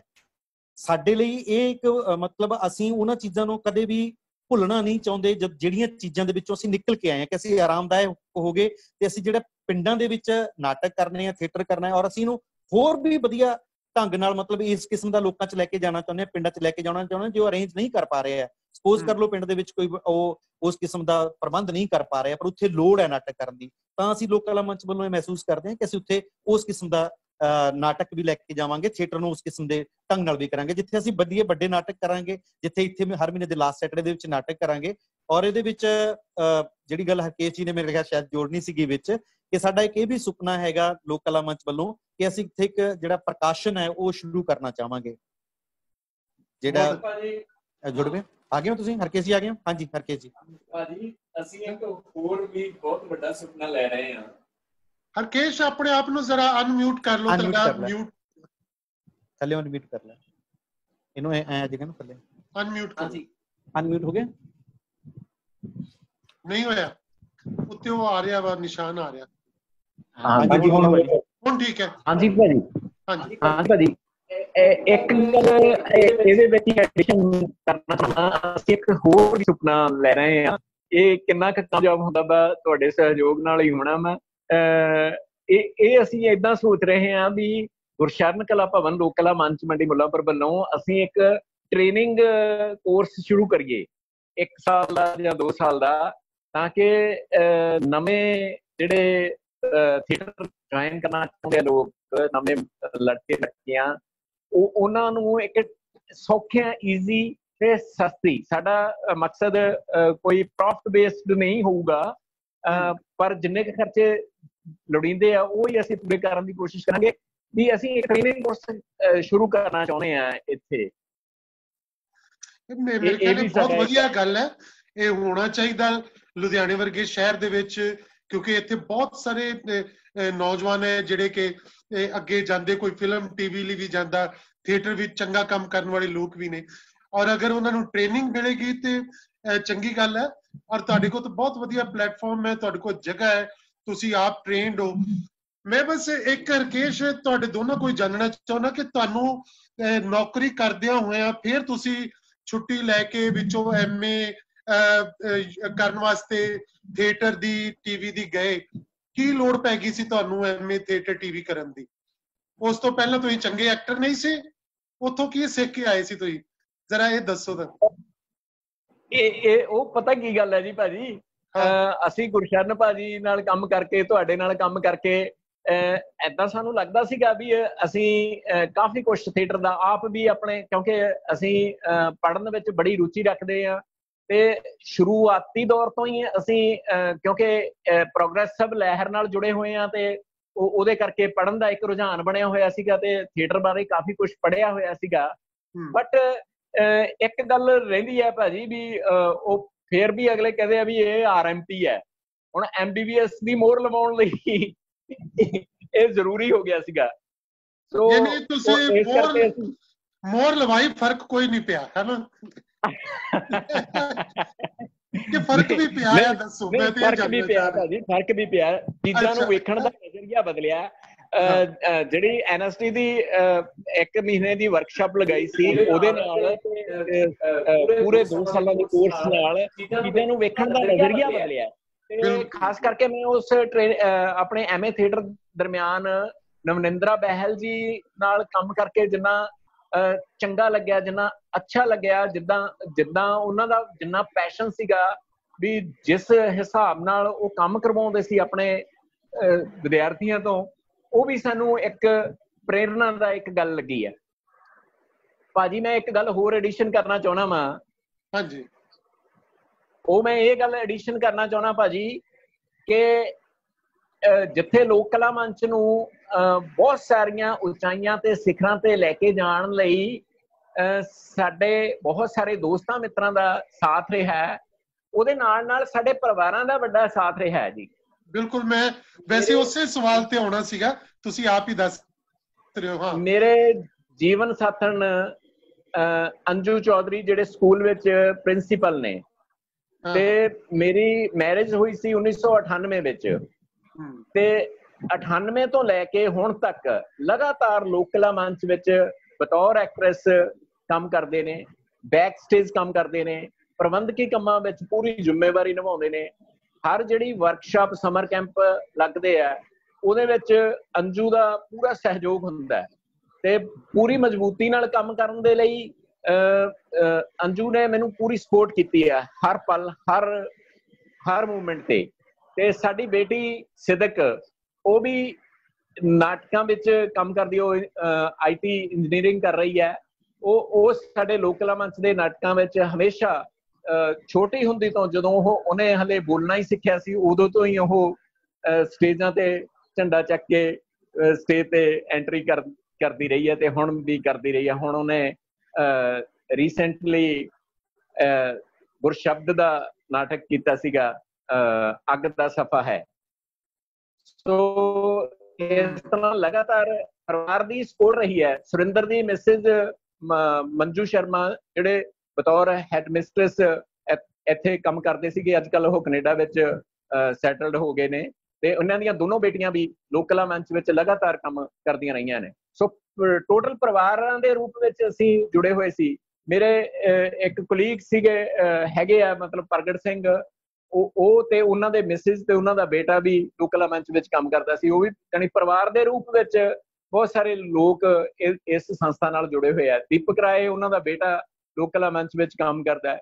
ਸੋ ਇਸ ਤਰ੍ਹਾਂ ਬਹੁਤ ਸਾਰੇ ਲੋਕ ਪਰਿਵਾਰਾਂ ਦੇ ਰੂਪ ਵਿੱਚ ਸੰਸਥਾ ਨਾਲ ਜੁੜੇ ਹੋਏ ਆ। ਉਹਦੇ ਕਰਕੇ ਵੀ ਲੋਕਲ ਮੰਚ ਦੀ ਇੰਨੀ ਪ੍ਰੋਗਰੈਸ ਹੋਈ ਹੈ। ਤੁਹਾਡੇ ਕੋਲ ਹਰਕੇਸ਼ ਆਡੀਅנס ਸਿਰਫ ਮੁੱਲਾਪੁਰ ਤੋਂ ਜਾਂ ਜਾਂ ਤੁਹਾਨੂੰ ਕੋਈ ਜਗਰਾਵਾਂ ਤੋਂ ਜਾਂ ਲੁਧਿਆਣੇ ਤੋਂ ਵੀ ਲੋਕ ਜਦੋਂ ਕਰਦੇ ਹੋ, ਕੁਝ ਆਉਂਦੇ ਹੀ ਆਡੀਅנס ਹਾਂਜੀ ਬਾਜੀ ਸਾਡੀ ਆਡੀਅנס ਹੈ ਜਿਹੜੀ, ਉਹ ਜਗਰਾਉਂ, ਰਾਏਕੋਟ, ਸੁਧਾਰ, ਲੁਧਿਆਣਾ ਮੁੱਲਾਪੁਰ ਦੇ ਨੇੜੇ ਤੇੜੇ ਦੇ ਸਾਰੇ ਪਿੰਡ। ਇਸੇ ਕਰਕੇ ਹੁਣ ਮਤਲਬ ਹਰੇਕ ਸ਼ੋਅ ਤੇ ਮਤਲਬ ਸਾਡਾ ਹਾਲ ਫੁੱਲ ਹੋ ਜਾਂਦਾ ਉਹਦਾ ਕਾਰਨ ਇਹੀ ਬਣਿਆ ਕਿ ਕੁਝ ਲੋਕ ਇੱਕ ਵਾਰੀ ਨਹੀਂ ਆਉਂਦੇ, ਦੂਜੀ ਵਾਰੀ ਆ ਜਾਂਦੇ ਆ। ਇਸ ਤਰ੍ਹਾਂ ਹਾਲ ਆ ਜਿਹੜਾ ਉਹ ਹਮੇਸ਼ਾ ਫੁੱਲ ਰਹਿੰਦਾ ਵਾ। ਇੱਕ ਵਾਰੀ ਮੈਨੂੰ ਯਾਦ ਆ ਕਿ ਲਾਸਟ ਸ਼ਨੀਵਾਰ ਨੂੰ ਬਹੁਤ ਮੀਂਹ ਨੇਰੀ ਆ ਗਈ। ਲਾਸਟ ਮੂਮੈਂਟ ਤੇ ਸਾਡੇ 6 ਵਜੇ ਪਲੇ ਸਟਾਰਟ ਹੋਣਾ ਸੀ ਤੇ 5:30 ਵਜੇ ਇਹ ਮੌਸਮ ਪੂਰੀ ਤਰ੍ਹਾਂ ਖਰਾਬ ਹੋ ਗਿਆ। ਤੇ ਸਾਡੀ ਟੀਮ ਨੇ ਹੀ ਨਾਟਕ ਕਰਨਾ ਸੀਗਾ ਤੇ ਟੀਮ ਵਾਲੇ ਸਾਥੀ ਮੈਨੂੰ ਆ ਕੇ ਕਹਿੰਦੇ ਕਹਿੰਦੇ ਵੀ ਹੁਣ ਫਿਰ ਕਿਵੇਂ ਕਰਨਾ ਵਾ ਵੀ ਅੱਜ ਪੋਸਟਪੋਨ ਕਰ ਦਈਏ ਕਿ ਰੱਦ ਕਰ ਦਈਏ? ਤੇ ਮੈਂ ਕਿਹਾ ਨਹੀਂ ਯਾਰ ਮੈਂ ਇਕੱਲਾ ਵੇਖੂੰਗਾ ਬੈਠ ਕੇ। ਮੈਂ ਤੁਹਾਨੂੰ 100 150 ਦਰਸ਼ਕ ਦਾ ਆਨੰਦ ਦਊਂਗਾ ਇਕੱਲਾ ਹੀ। ਤੇ ਤੁਸੀਂ ਕਰੋ ਯਾਰ ਤਿਆਰੀ। ਸੋ ਉਹ ਤਿਆਰੀ ਕਰਨ ਲੱਗੇ ਤੇ ਮੌਸਮ ਨੇ ਜਰਾ ਕ ਬ੍ਰੇਕ ਲਈ ਤੇ ਉਹਨੇ ਵਿੱਚ ਹੀ ਲੋਕ ਜਿੱਦਾਂ ਆਪਾਂ ਪੱਕੇ ਹੋਏ ਬੇਰੀ ਦੇ ਬੇਰਾਂ ਨੂੰ ਹਲੂਣਾ ਜਿਹਾ ਦਿੰਦੇ ਆ ਡਿੱਗਦੇ ਆ ਬੇਰ ਐਦਾਂ ਲੋਕ ਝੜੇ ਬਈ 100 150 ਦਰਸ਼ਕ ਆ ਗਿਆ ਤੇ ਉਹਦੇ ਤੋਂ ਮੈਨੂੰ ਇਦਾਂ ਲੱਗਿਆ ਵੀ ਮੈਂ ਉਹ ਉਦੋਂ ਸਟੇਜ ਤੇ ਖੜ ਕੇ ਇਹ ਕਿਹਾ ਵੀ ਵੀ ਪਿਆਰੇ ਦਰਸ਼ਕੋ, ਤੁਸੀਂ ਸਾਡੇ ਹੌਸਲੇ ਨੂੰ ਹੋਰ ਮਜ਼ਬੂਤ ਕਰ ਦਿੱਤਾ ਵੀ ਜੇ ਤੁਸੀਂ ਅੱਜ ਦੇ ਦਿਨ ਨਾ ਆਉਂਦੇ, ਤਾਂ ਸ਼ਾਇਦ ਸਾਡਾ ਹੌਸਲਾ ਥੋੜਾ ਜਿਹਾ ਡਾਮਾਡੋਲ ਜਿਹਾ ਹੁੰਦਾ। ਅੱਜ ਤੁਸੀਂ ਉਹਨੂੰ ਲੈਂਟਰ ਵਾਂਗੂ ਮਜ਼ਬੂਤ ਕਰ ਦਿੱਤਾ ਵੀ ਹੁਣ ਸਾਨੂੰ ਇਹ ਹਮੇਸ਼ਾ ਉਮੀਦ ਰਹੂਗੀ ਵੀ ਤੁਸੀਂ ਸਾਨੂੰ ਡੋਲਣ ਨਹੀਂ ਦਿੰਦੇ ਕਿਤੇ ਵੀ, ਕੋਈ ਵੀ ਝੱਖੜ ਆਵੇ ਤੇ ਤੁਸੀਂ ਸਾਡੇ ਨਾਲ ਮਜ਼ਬੂਤੀ ਨਾਲ ਖੜੇ ਹੋਵੋਗੇ। ਸੋ ਇਸ ਤਰ੍ਹਾਂ ਉਹਨਾਂ ਨੇ ਸਾਨੂੰ ਮਜ਼ਬੂਤੀ ਨਾਲ ਖੜਨਾ ਸਿਖਾਇਆ ਸਾਡੇ ਦਰਸ਼ਕਾਂ ਨੇ। ਤੇ ਹਰਕੇਸ਼ ਤੁਹਾਡੇ ਕੋਲ ਜਿਹੜੇ ਐਕਟਰਸ ਨੇ ਉਹ ਕਿੱਥੋਂ ਆਉਂਦੇ ਆ? ਕੌਣ ਨੇ ਐਕਟਰ ਉਹ ਤੁਹਾਡੇ ਆਪਣੇ ਇਲਾਕੇ ਦੇ ਜਾਂ ਕੋਈ ਬਾਹਰੋਂ ਆਉਂਦੇ? ਕੌਣ ਨੇ ਐਕਟਰ ਉਹ? ਉਹਨੂੰ ਕਿਵੇਂ ਤੁਸੀਂ ਟ੍ਰੇਨ ਕਰਦੇ ਹੋ? ਬਹੁਤੇ ਮੁੱਲਾਂਪੁਰ ਦੇ ਹੁੰਦੇ ਆ ਜੀ। ਆਉਂਦੇ ਆ ਕੰਮ ਕਰਦੇ ਆਸੇ-ਪਾਸੇ ਦੇ ਪਿੰਡਾਂ ਦੇ ਵੀ ਹੁੰਦੇ ਆ। ਤੇ ਉਹਨਾਂ ਵਿੱਚੋਂ ਇੱਕ ਬਹੁਤ ਵੱਡਾ ਫੈਕਟਰ ਮੇਰੇ ਵਿਦਿਆਰਥੀ ਵੀ ਹੁੰਦੇ ਆ। ਮੈਂ ਆਪਣੇ ਵਿਦਿਆਰਥੀਆਂ ਨੂੰ ਵੀ ਪ੍ਰੇਰ ਕੇ ਥੀਏਟਰ ਵਿੱਚ ਇਨਵੋਲਵ ਕਰ ਲੈਣਾ ਤੇ ਜਿਹੜਾ ਅਸੀਂ ਸਮਰ ਕੈਂਪ ਲਗਾਉਨੇ ਆ ਜੀ 10 ਦਿਨ ਦਾ ਸਮਰ ਕੈਂਪ ਲਗਾਉਨੇ ਆ 1 ਜੂਨ ਤੋਂ 10 ਜੂਨ ਤੱਕ ਹਰੇਕ ਸਾਲ ਲਗਾਉਨੇ ਆ ਤੇ ਉਹਦੇ ਵਿੱਚ 100 ਦੇ ਕਰੀਬ ਸਟੂਡੈਂਟ ਅਸੀਂ ਰੱਖਦੇ ਆ ਤੇ ਉਹਨਾਂ ਵਿੱਚੋਂ ਵੀ ਬਹੁਤ ਸਾਰੇ ਬੱਚੇ ਗਾਹਾਂ ਸਾਡੇ ਲੋਕਲ ਮੰਚ ਟੀਮ ਦਾ ਹਿੱਸਾ ਬਣ ਜਾਂਦੇ ਨੇ। ਸੋ ਇਸ ਤਰ੍ਹਾਂ ਆਈ ਜਾਂਦੇ ਆ। ਬਹੁਤ ਸਾਰੇ ਬੱਚੇ ਆ ਜਿਹੜੇ ਉਹ ਕੰਮ ਕਰਦੇ ਆ ਤੇ ਲੋਕਲ ਮੰਚ ਨੂੰ ਯਾਦ ਰੱਖਦੇ ਆ, ਬਹੁਤ ਸਾਰੇ ਭੁੱਲ ਵੀ ਜਾਂਦੇ ਆ। ਜਿਹੜੇ ਯਾਦ ਰੱਖਦੇ ਆ, ਉਹ ਬਹੁਤ ਜ਼ਿਆਦਾ ਯਾਦ ਰੱਖਦੇ ਆ। ਜਾਨੀ ਮੈਂ ਇੱਕ ਜ਼ਿਕਰ ਕਰਨਾ ਚਾਹੂੰਗਾ ਵੀ ਉਹ ਲੜਕਾ ਤਰਪਵਨ ਸਿੰਘ ਵੈਨਕੂਵਰ ਰਹਿ ਰਿਹਾ ਹੈ ਅੱਜ ਕੱਲ ਕਾਫੀ ਸਮਾਂ ਇੱਥੇ ਲੋਕਲ ਮੰਚ ਵਿੱਚ ਕੰਮ ਕਰਦਾ ਸੀਗਾ। ਹਰੇਕ ਸਾਲ ਕੁਛ ਨਾ ਕੁਛ ਪੈਸੇ ਉਹ ਆਪਣੇ ਬਚਾ ਕੇ ਲੋਕਲ ਮੰਚ ਨੂੰ ਭੇਜ ਦਿੰਦਾ ਵਾ। ਵੀ ਪਿਛਲੇ ਸਾਲ ਆਇਆ ਤੇ ਮੈਨੂੰ ਕਹਿੰਦਾ ਭਾਜੀ ਲੋਕਲ ਮੰਚ ਵਿੱਚ ਕੀ ਕੰਮ ਹੋਣ ਵਾਲਾ ਮੈਂ ਕਿਹਾ, ਕੁਛ ਨਹੀਂ। ਮੈਨੂੰ ਇਹ ਸੀਗਾ ਵੀ ਮੈਂ ਹੁਣ ਇਹਦੇ ਤੋਂ ਪੈਸੇ ਲੈਣੇ ਨਹੀਂ ਹੈਗੇ। ਤੇ ਕਹਿੰਦੇ ਆ ਕੇ ਦੇਖ ਕੇ ਉੱਪਰ ਹਾਲ ਨੂੰ ਦੇਖ ਕੇ ਕਹਿੰਦਾ ਵੀ ਆਫਿਸ ਦਾ ਫਰਨੀਚਰ ਚੇਂਜ ਹੋਣ ਵਾਲਾ ਤੇ ਮੇਕਅਪ ਰੂਮ ਦੇ ਸ਼ੀਸ਼ੇ ਲੱਗਣ ਵਾਲੇ ਆ ਸੋ ਇੱਕੋ ਵਾਰੀ ਵਿੱਚ 50 60000 ਰੁਪਏ ਦਾ ਖਰਚਾ ਕਰਕੇ ਉਹ ਚਲਾ ਗਿਆ। ਇਸ ਤਰ੍ਹਾਂ ਇਮੋਸ਼ਨਲੀ ਵੀ ਹੋਇਆ ਸੰਸਥਾ ਦੇ ਨਾਲ। ਤੇ ਉਹਨਾਂ ਤੇ ਸਾਨੂੰ ਮਾਣ ਹੈ ਇਦਾਂ ਦੀ ਇੱਕ ਗੱਲ ਮੈਂ ਹੋਰ ਘਟਨਾ ਦੇ ਰੂਪ ਵਿੱਚ ਹੀ ਦੱਸਦਾ ਤੁਹਾਨੂੰ ਭਾਜੀ ਕਿ ਸੁਰਿੰਦਰ ਦੀ ਵੱਡੀ ਬੇਟੀ ਉਹਦਾ ਨਾਮ ਅਰੁਸ਼ੀ ਸ਼ਰਮਾ। ਅਸੀਂ ਇੱਕ ਵਾਰੀ ਨਾਟਕ ਕਰ ਰਹੇ ਸੀ ਪੰਜਾਬੀ ਭਵਨ ਤੇ ਪੂਰੇ ਸਾਰੀ ਟੀਮ ਜਦੋਂ ਨਾਟਕ ਸ਼ੁਰੂ ਹੋਣ ਤੋਂ ਪਹਿਲਾਂ ਤਿਆਰ ਹੋ ਕੇ ਪਿੱਛੇ ਵਿੰਗ ਦੇ ਪਿੱਛੇ ਖੜੀ ਸੀਗੀ ਤੇ ਉਹ ਸਾਰੇ ਬੱਚੇ ਇੱਕ ਟੇਬਲ ਬੈਂਚ ਤੇ ਬੈਠੇ ਸੀਗੇ।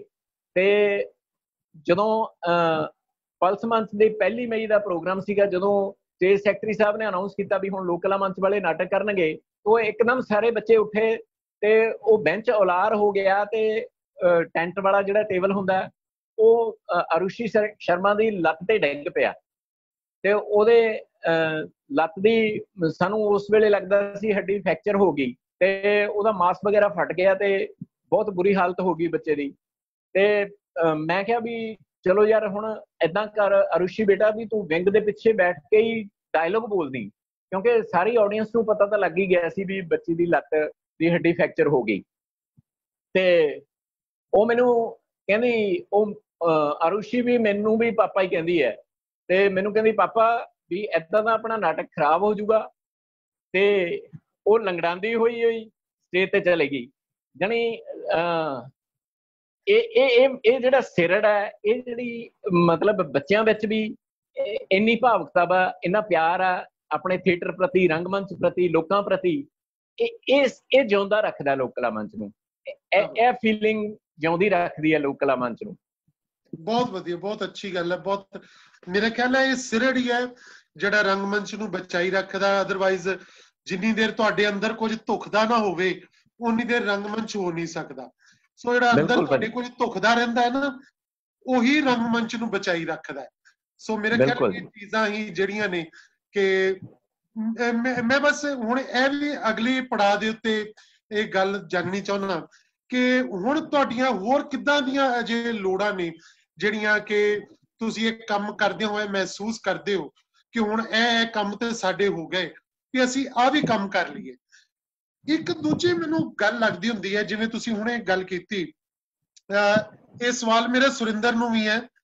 ਸੁਰਿੰਦਰ ਕਿ ਜਿਵੇਂ ਹੁਣੇ ਹਰਕੇਸ਼ ਨੇ ਦੱਸਿਆ ਕਿ ਤੁਹਾਡਾ ਪਰਿਵਾਰ ਹੁਣ ਕੈਨੇਡਾ ਦੇ ਵਿੱਚ ਸੈਟਲ ਹੈ।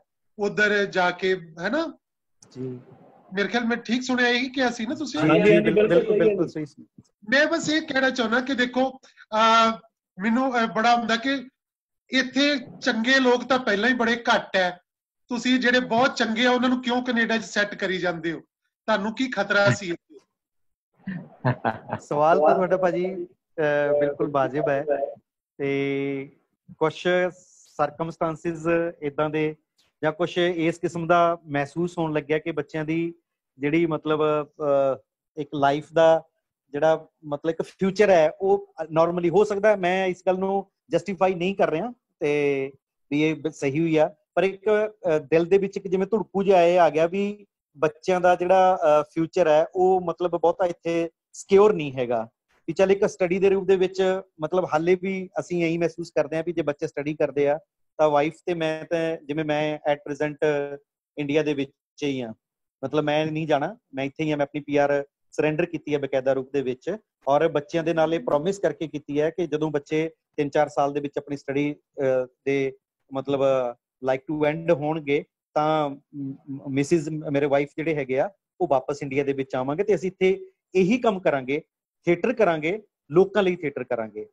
ਇਹਦੇ ਵਿੱਚ ਬਹੁਤ ਸਾਰੇ ਸਵਾਲ ਨੇ, ਬਹੁਤ ਸਾਰੀਆਂ ਡਿਸਕਸ਼ਨ ਕਰਨ ਦਾ ਮਸਲਾ ਹੈ ਵੀ ਇਹ ਸੱਚਮੁੱਚ ਦੇ ਵਿੱਚ ਔਰ ਮੈਂ ਸੱਚੀ ਇਸ ਗੱਲ ਲਈ ਐਗਰੀ ਆ ਬੇਵਾਕੀ ਨਾਲ ਇਸ ਗੱਲ ਨੂੰ ਐਕਸੈਪਟ ਕਰਨਾ ਚਾਹੁੰਦਾ ਇਹ ਨਹੀਂ ਹੋਣਾ ਚਾਹੀਦਾ ਸੀਗਾ ਕਿ ਬੱਚੇ ਅਹ, ਮੇਰਾ ਨਾ ਸੁਰਿੰਦਰ ਮੇਰਾ ਬਸ ਫਿਕਰ ਹੈ ਕਿ। ਬਹੁਤ ਸਾਰੇ ਕਿਉਂਕਿ ਜਿਹੜੇ ਸਾਡੇ ਲੋਕ ਨੇ। ਸਾਡੀ ਧਿਰ ਦੇ ਲੋਕ। ਕਹਿ ਲੋ ਹੈ ਨਾ ਜਾਂ ਸਾਡੇ ਰੰਗਮੰਚ ਦੇ ਲੋਕ ਨੇ ਜਿਹੜੇ ਸਿਆਣੇ ਲੋਕ ਨੇ ਤੇ ਉਹ ਉਹ ਉਹ ਲੋਕ ਜਿਹੜੇ ਆ ਉਹ ਵੀ ਕਿਸੇ ਵੇਲੇ ਇਸ ਤਰ੍ਹਾਂ ਡੋਲ ਜਾਂਦੇ ਆ ਉਹਨਾਂ ਨੂੰ ਵੀ ਲੱਗਦਾ ਕਿ ਸਾਡਾ ਭਵਿੱਖ ਇੱਥੇ ਨਹੀਂ ਹੈ। ਵੀ ਉਹਦੇ ਪਿਛਲੇ ਕੀ ਕਾਰਨ ਹੈ ਕਿ ਅਸੀਂ ਇਹ ਕੀ ਇਹੋ ਜਿਹਾ ਸਮਾਜ ਇਹੋ ਜਿਹਾ ਸੁਨੇਹਾ ਅਜੇ ਤੱਕ ਨਹੀਂ ਦੇ ਸਕੇ ਜਾਂ ਅਸੀਂ ਆਪਣੇ ਬੱਚਿਆਂ ਨੂੰ ਇਸ ਤਰ੍ਹਾਂ ਪੈਰਾਂ ਸਿਰ ਨਹੀਂ ਖੜਾ ਕਰ ਸਕੇ? ਹੋਰ ਵੀ ਬਹੁਤ ਸਾਰੇ ਲੋਕ ਗਏ ਨੇ ਜਿਹੜੇ ਸਾਡੇ। ਵਿੱਚੋਂ ਨੇ ਰੰਗਮੰਚ ਵਿੱਚੋਂ ਨੇ ਜਾਂ ਫਿਲਮੀ ਦੁਨੀਆ ਵਿੱਚੋਂ ਸਾਡੇ ਪੰਜਾਬ ਚੋਂ ਜਿਨ੍ਹਾਂ ਨੇ ਉਧਰ ਜਾ ਕੇ ਸੈਟਲ ਹੋ ਗਏ ਉਹ ਇੱਧਰ ਆ ਕੇ ਸ਼ੂਟਿੰਗ ਕਰਦੇ ਆ ਫਿਰ ਉੱਥੇ ਜਾ ਕੇ ਉਹਨਾਂ ਨੇ ਪੀਆਰ ਲਈ ਹੈ ਜਾਂ ਪਰਮਾਨੈਂਟ ਉਧਰਲੇ ਪਾਸੇ ਨੇ ਉਹ ਉੱਥੇ ਚਲੇ ਜਾਂਦੇ ਨੇ ਫਿਰ ਉੱਥੇ। ਸੋ ਮੈਨੂੰ ਇਹ ਚੀਜ਼ ਦਾ ਮੇਰੇ ਜਸਟ ਫਿਕਰ ਹੈ ਇੱਕ ਹੋਰ। ਨਹੀਂ ਨਹੀਂ ਠੀਕ ਹੈ ਨਹੀਂ ਹੈ ਮੇਣਾ ਮੇਣਾ ਵੀ ਹੋ ਸਕਦਾ ਹੈ ਜੇ ਅਸੀਂ ਆਪਣੇ ਕਿਤੇ ਨਾ ਕਿਤੇ ਉਸ ਆਪਣੇ ਰਾਹ ਤੋਂ ਕਿਤੇ ਨਾ ਕਿਤੇ ਥੜਕਦੇ ਆ ਤਾਂ ਉਹ ਮੇਣਾ ਵੀ ਜ਼ਰੂਰ ਹੋਣਾ ਚਾਹੀਦਾ ਹੈ ਔਰ ਐਕਸੈਪਟ ਵੀ ਕਰਨਾ ਚਾਹੀਦਾ ਹੈ। ਮੈਨੂੰ ਇਹ ਵੀ ਲੱਗਦਾ ਹੈ। ਔਰ ਫਿਕਰ ਤਾਂ ਹੋਣਾ ਹੀ ਚਾਹੀਦਾ। ਤੁਹਾਡਾ ਫਿਕਰ ਬਿਲਕੁਲ 200% ਜਾਇਜ਼ ਆ।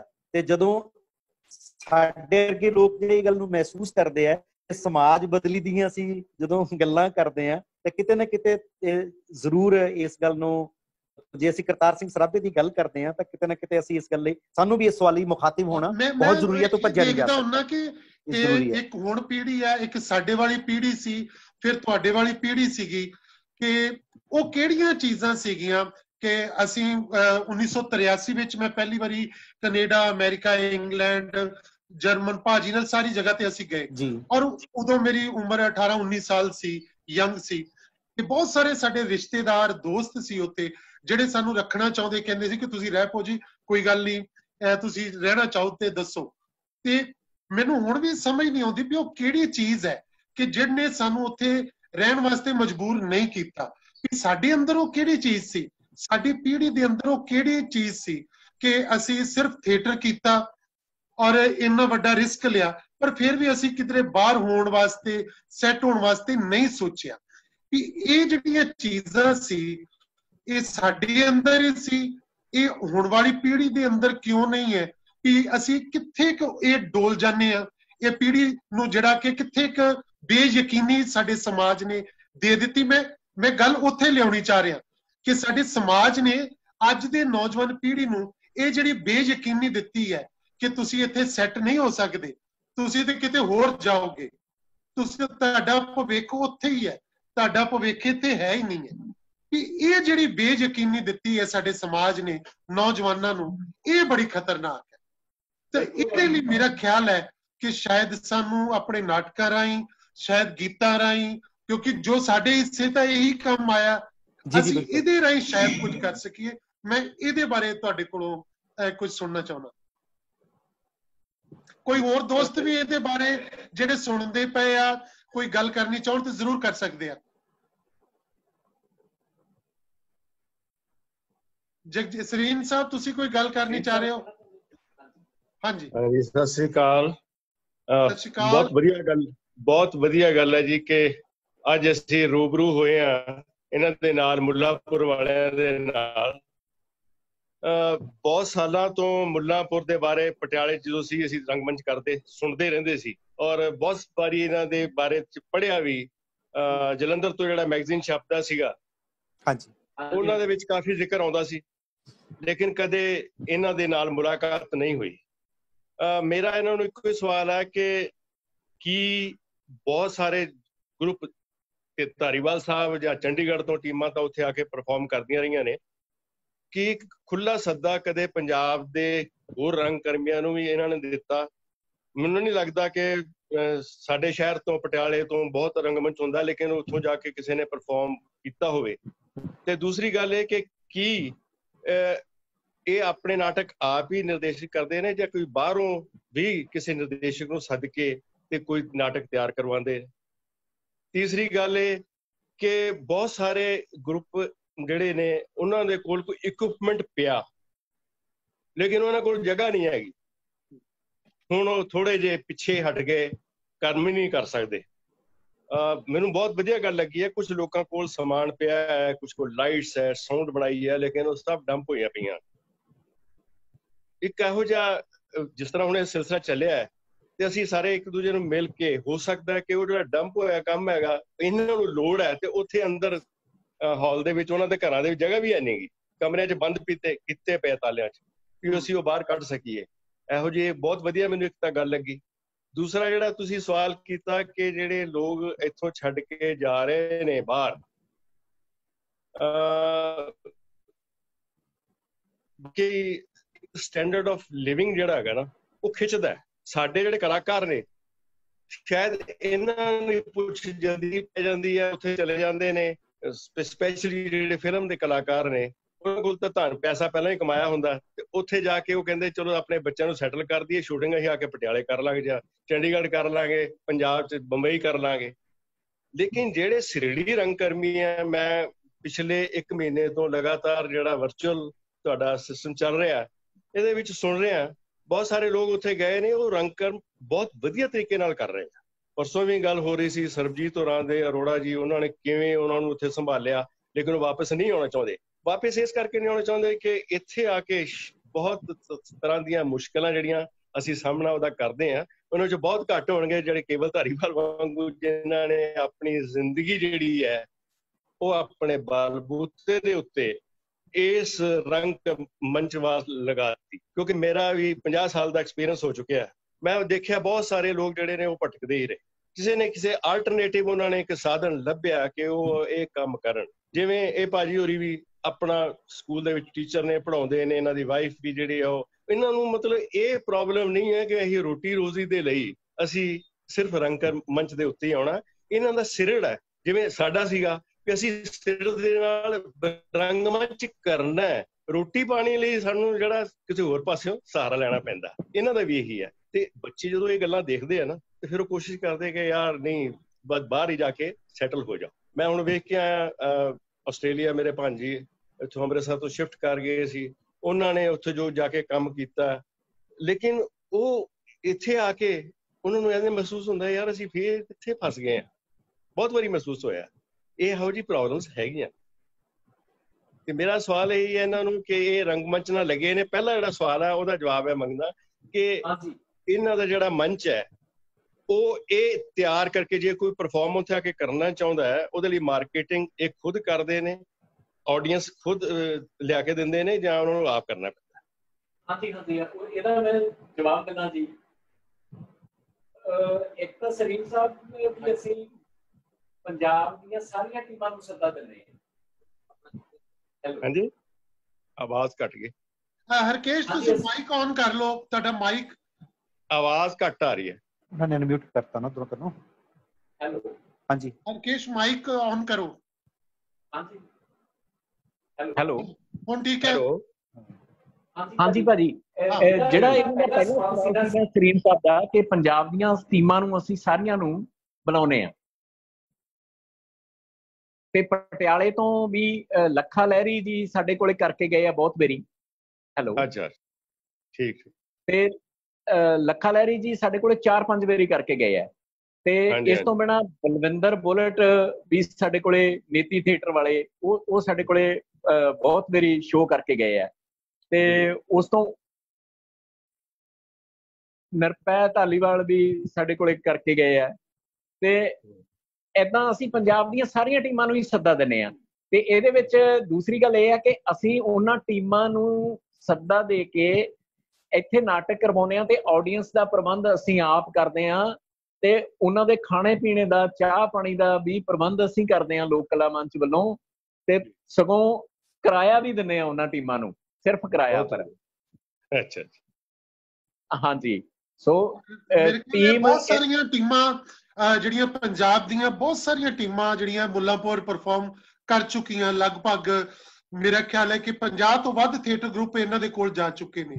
ਜਿਹੜੇ ਇੱਥੋਂ ਅੰਮ੍ਰਿਤਸਰ ਤੋਂ ਵੀ ਬਹੁਤ ਸਾਰੇ ਥੀਏਟਰ ਗਰੁੱਪ ਕਿਉਂਕਿ ਮੈਂ ਆਪ ਭੇਜਦਾ ਰਿਹਾ ਵਾਂ ਇਹਨਾਂ ਕੋਲ ਤੇ ਇਸ ਲਈ ਮੈਨੂੰ ਪਤਾ ਕਿ ਕੀਰਤੀ ਪਾਲ ਵੀ ਬਠਿੰਡੇ ਤੋਂ ਇਹਨਾਂ ਕੋਲ ਆਏ ਆ ਚਾਹੇ ਰਾਏਕੋਟ ਵਾਲੀ ਤੇ ਇਦਾਂ ਦੀਆਂ ਟੀਮਾਂ ਬਹੁਤ ਆਉਂਦੀਆਂ ਰਹੀਆਂ ਤੁਹਾਡੇ ਕੋਲ। ਨਹੀਂ ਜਿਸ ਤਰ੍ਹਾਂ ਨਾਟਸ਼ਾਲਾ ਦੇ ਵਿੱਚ ਉਹਨਾਂ ਨੇ ਪ੍ਰਬੰਧ ਕੀਤਾ ਹੋਇਆ ਜਿਸ ਤਰ੍ਹਾਂ ਤੁਸੀਂ ਆਡੀਟੋਰੀਅਮ ਬਣਾਇਆ ਹੈ ਉਹਨੂੰ ਮੈਨੇਜ ਕਰ ਰਹੇ ਹੋ। ਜਿਸ ਤਰ੍ਹਾਂ ਨਾਟਸ਼ਾਲਾ ਦੇ ਵਿੱਚ ਕੋਈ ਪਰਫਾਰਮ ਕਰਨ ਜਾਂਦਾ ਹੈ ਤੋਂ ਪੂਰੀ ਰਿਸਪੌਂਸਿਬਿਲਟੀ ਲੈ ਲੈਂਦੇ ਆ ਤੇ ਉਸ ਤੋਂ ਬਾਅਦ ਟਿਕਟਾਂ ਵੀ ਉਹ ਵੇਚਦੇ ਆ ਜਾਂ ਜੋ ਵੀ ਪੈਸਾ ਇਕੱਠਾ ਕਰਦੇ ਆ ਔਰ ਉਹਦੇ ਵਿੱਚੋਂ ਮਿਨੀਮਮ ਜਿਹੜੀ ਅਮਾਉਂਟ ਜਮਾ ਕਰਾਉਂਦੇ ਆ, ਵਾਪਸ ਕਰ ਦਿੰਦੇ ਆ, ਜਿਹੜਾ ਕੁਝ ਉੱਪਰ ਬਚ ਜਾਂਦਾ ਹੈ ਉਹ 50 50 ਡਿਸਟ੍ਰੀਬਿਊਟ ਹੋ ਜਾਂਦਾ ਹੈ। ਇਸ ਤਰ੍ਹਾਂ ਦਾ ਕੋਈ, ਤੁਸੀਂ ਵੀ ਇੱਥੇ ਇਸ ਤਰ੍ਹਾਂ ਦਾ ਕੋਈ ਰੂਲ ਬਣਾਇਆ ਹੋਇਆ? ਲੋਕ ਹਾਂਜੀ, ਸ੍ਰੀਨ ਸਾਹਿਬ, ਅਸੀਂ ਲੋਕ ਕਲਾ ਮੰਚ ਮੰਡੀ ਮੁੱਲਾਂਪੁਰ ਵੱਲੋਂ ਟੀਮ ਤੋਂ ਕੁਝ ਨਹੀਂ ਲੈਂਦੇ। ਟੀਮ ਤੇ ਨਾ ਹੀ ਅਸੀਂ ਦਰਸ਼ਕਾਂ ਨੂੰ ਟਿਕਟ ਤੇ ਹਲੇ ਥੀਏਟਰ ਦਿਖਾਉਨੇ ਆ ਅਸੀਂ ਫ੍ਰੀ ਦਿਖਾਉਨੇ ਆ ਆਪਣੇ ਦਰਸ਼ਕਾਂ ਨੂੰ ਸਾਰਾ ਥੀਏਟਰ ਤੇ ਸਾਡੇ ਦਰਸ਼ਕ ਉਸ ਰੂਪ ਵਿੱਚ ਸਾਡੇ ਨਾਲ ਜੁੜੇ ਹੋਏ ਆ ਕਿ ਜੇ ਲੋਕ ਕਲਾ ਮੰਚ ਕੋਈ ਕਾਲ ਦਿੰਦਾ ਵਾ ਕਿ ਅਸੀਂ ਆਹ ਚੀਜ਼ ਕਰਨ ਜਾ ਰਹੇ ਹਾਂ ਤੇ ਸਾਨੂੰ ਸਪੋਰਟ ਕਰੋ, ਤਾਂ ਸਾਡੇ ਦਰਸ਼ਕ ਦਿਲ ਖੋਲ ਕੇ ਸਾਨੂੰ ਸਪੋਰਟ ਕਰਦੇ ਆ। ਸਾਡਾ ਕੋਈ ਵੀ ਪ੍ਰੋਜੈਕਟ ਪੈਸੇ ਕਰਕੇ ਰੁਕਦਾ ਨਹੀਂ ਹੈ। ਜਿਵੇਂ ਮੈਂ ਸ਼ੁਰੂਆਤੀ ਦੌਰ ਵਿੱਚ ਵੀ ਗੱਲ ਕੀਤੀ ਸੀ ਕਿ ਥੋੜਾ ਜਿਹਾ ਲੋਨ ਹੋ ਗਿਆ ਸੀ ਉਹ 1 ਸਾਲ ਵੀ ਨਹੀਂ ਰੁਕਿਆ ਮੇਰੇ ਸਿਰ ਤੇ।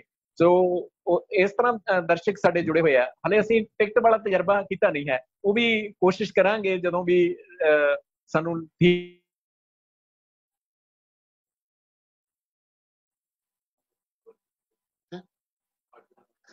ਤੁਹਾਡਾ ਮਾਈਕ ਅੜ ਗਿਆ ਵਾ। ਸੁਰਿੰਦਰ ਤੁਸੀਂ ਗੱਲ ਕਰੋ ਅੱਗੇ। ਸੁਰਿੰਦਰ ਹੈਲੋ ਸੁਰਿੰਦਰ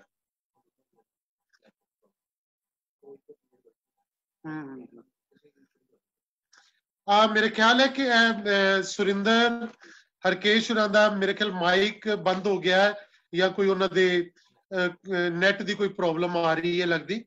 ਤੇ ਦੋਵੇਂ ਇਸ ਵੇਲੇ ਫ੍ਰੀਜ਼ ਨਜ਼ਰ ਆ ਰਹੇ ਨੇ। ਕੋਈ ਬੜੀ ਅੱਛੀ ਗੱਲਬਾਤ ਹੋ ਰਹੀ ਸੀ, ਬੜੀ ਵਧੀਆ ਇਨਫੋਰਮੇਸ਼ਨ ਇਹ, ਇਸ ਪਲੇਟਫਾਰਮ ਦਾ ਵੈਸੇ ਇਹੀ ਫਾਇਦਾ ਇਹਨਾਂ ਦਿਨਾਂ ਦੇ ਵਿੱਚ ਕਿ ਜਿਹੜੇ, ਜਿਵੇਂ ਹੁਣੇ ਸਰੀਨ ਸਾਹਿਬ ਗੱਲ ਕਰ ਰਹੇ ਸੀ ਕਿ ਇਹਨਾਂ ਨੂੰ ਬਹੁਤ ਸਾਰੀਆਂ ਚੀਜ਼ਾਂ ਦਾ ਇਹਨਾਂ ਨੂੰ ਪਤਾ ਹੀ ਨਹੀਂ ਹੈ ਕਿ ਇਹ ਇਹ ਮੁੱਲਾਪੁਰ ਦੇ ਵਿੱਚ ਇਹ ਕਿਵੇਂ ਕੰਮ ਕਰਦੇ ਨੇ। ਇਸੇ ਤਰ੍ਹਾਂ ਦੇ ਬਹੁਤ ਸਾਰੇ ਹੋਰ ਸਾਡੇ ਥੀਏਟਰ ਦੇ ਲੋਕ ਨੇ, ਜਿਨ੍ਹਾਂ ਨੂੰ ਇਹ ਪਤਾ ਨਹੀਂ ਹੈ ਕਿ ਇੱਕ ਗਰੁੱਪ ਜਿਹੜਾ ਉਹ ਕਿਹੜੀ ਮਿਹਨਤ ਦੇ ਨਾਲ ਕਿਸ ਤਰ੍ਹਾਂ ਬਣਿਆ ਵਾ ਕਿਸ ਤਰ੍ਹਾਂ ਉਹ ਕੰਮ ਕਰਦਾ ਵਾ? ਸੋ ਮੇਰਾ ਖਿਆਲ ਹੈ ਕਿ ਇਹ ਜਿਹੜਾ ਸਾਡਾ ਇੱਕ ਸਿਲਸਿਲਾ ਵਾ ਇੱਕ ਦੂਜੇ ਨੂੰ ਜਾਣਨ ਵਾਲਾ ਇਹਦੇ ਨਾਲ ਕਾਫੀ ਚੀਜ਼ਾਂ ਜਿਹੜੀਆਂ ਨੇ ਉਹ ਚੰਗੀਆਂ ਜਿਹੜੀਆਂ ਚੰਗੇ ਚੰਗਾ ਹੋ ਰਿਹਾ ਵਾ ਕਿ ਅਸੀਂ ਇੱਕ ਦੂਜੇ ਦੇ ਕੰਮ ਨੂੰ ਜਾਣ ਰਹੇ ਆ ਉਹਨਾਂ ਦੇ ਸੰਘਰਸ਼ ਨੂੰ ਜਾਣਦੇ ਪਏ ਆ ਉਹਨਾਂ ਦੇ ਪਿਛੋਕੜ ਨੂੰ ਉਹਨਾਂ ਦੇ ਕੰਮ ਕਰਨ ਦੇ ਤਰੀਕੇ ਨੂੰ ਜਾਣਦੇ ਪਏ ਆ ਹਾਂ ਹਾਂਜੀ ਹੈਲੋ ਆਵਾਜ਼ ਆ ਰਹੀ ਹੈ? ਹਾਂਜੀ ਭਾਜੀ ਹੁਣ ਆ ਰਹੀ ਆਵਾਜ਼ ਹਾਂਜੀ।